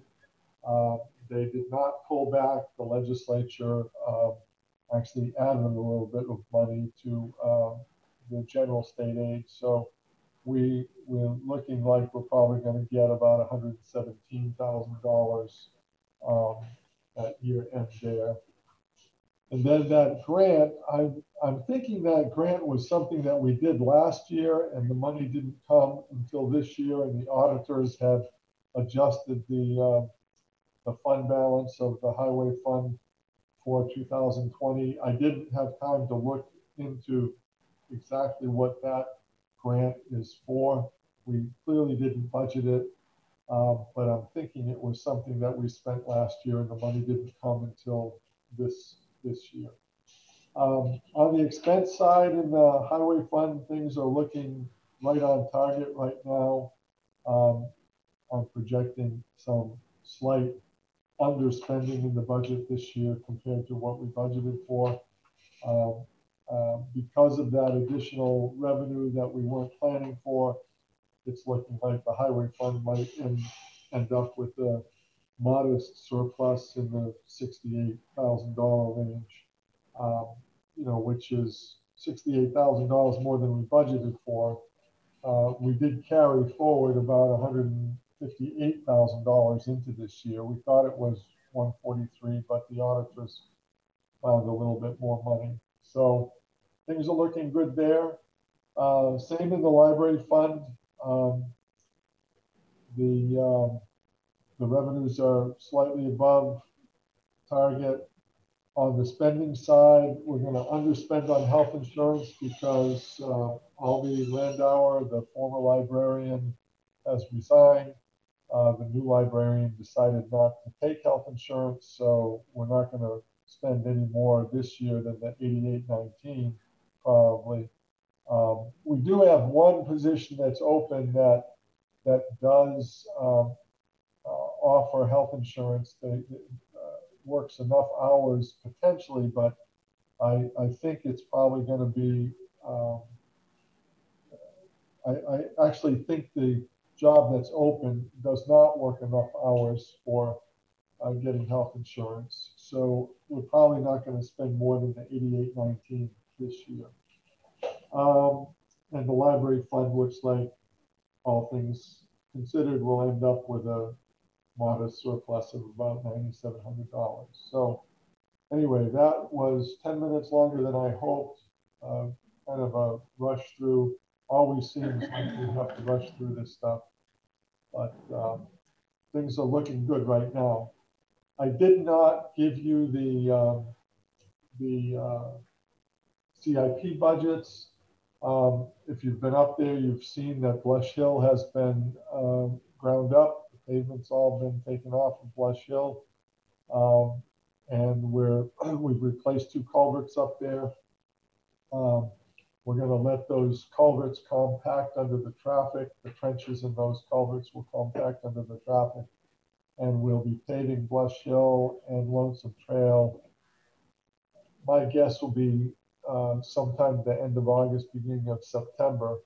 Um, but that's on track right now. Um, did you all see the um, email I sent out to you on front from Front Porch Forum last week? We've had some vandalism at the tennis court lights and at the skating rink lights where they play volleyball. Uh, I talked to Nick today. It's it's his uh, statement that um, the lighting at those places will be discontinued until further notice is not meant to be punitive on his part. We need to get an electrician in there to fix the damage. We've had to shut the electricity off back at the breaker because you know these vandals broke into the into the timer box uh, and they did some damage in there that would you know if somebody if it was live somebody could get shot. So it's off now and it's not going to be on until we can get somebody in there to do some work. It's disappointing, um, but I, I want you to know that it's not Nick saying, so there, you know, nobody's going to play on the lights because there was vandalism. We, we, we got to get an electrician to, to do some work to fix it. Bill, I missed that. Is it something where we think they were actually trying to steal something or they were just doing damage to do damage?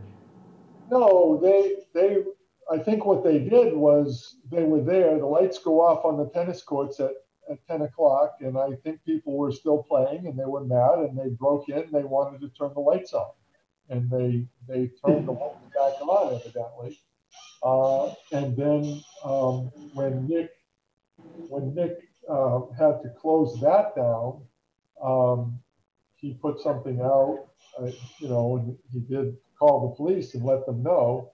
Uh, it seems like maybe the second one may have been in retribution for the fact that, you know, the lights on the tennis court went out, or maybe they were just hoping that they could get lights on the uh, skating rink, uh, and that would be light enough to play in the tennis courts. But they broke that too now.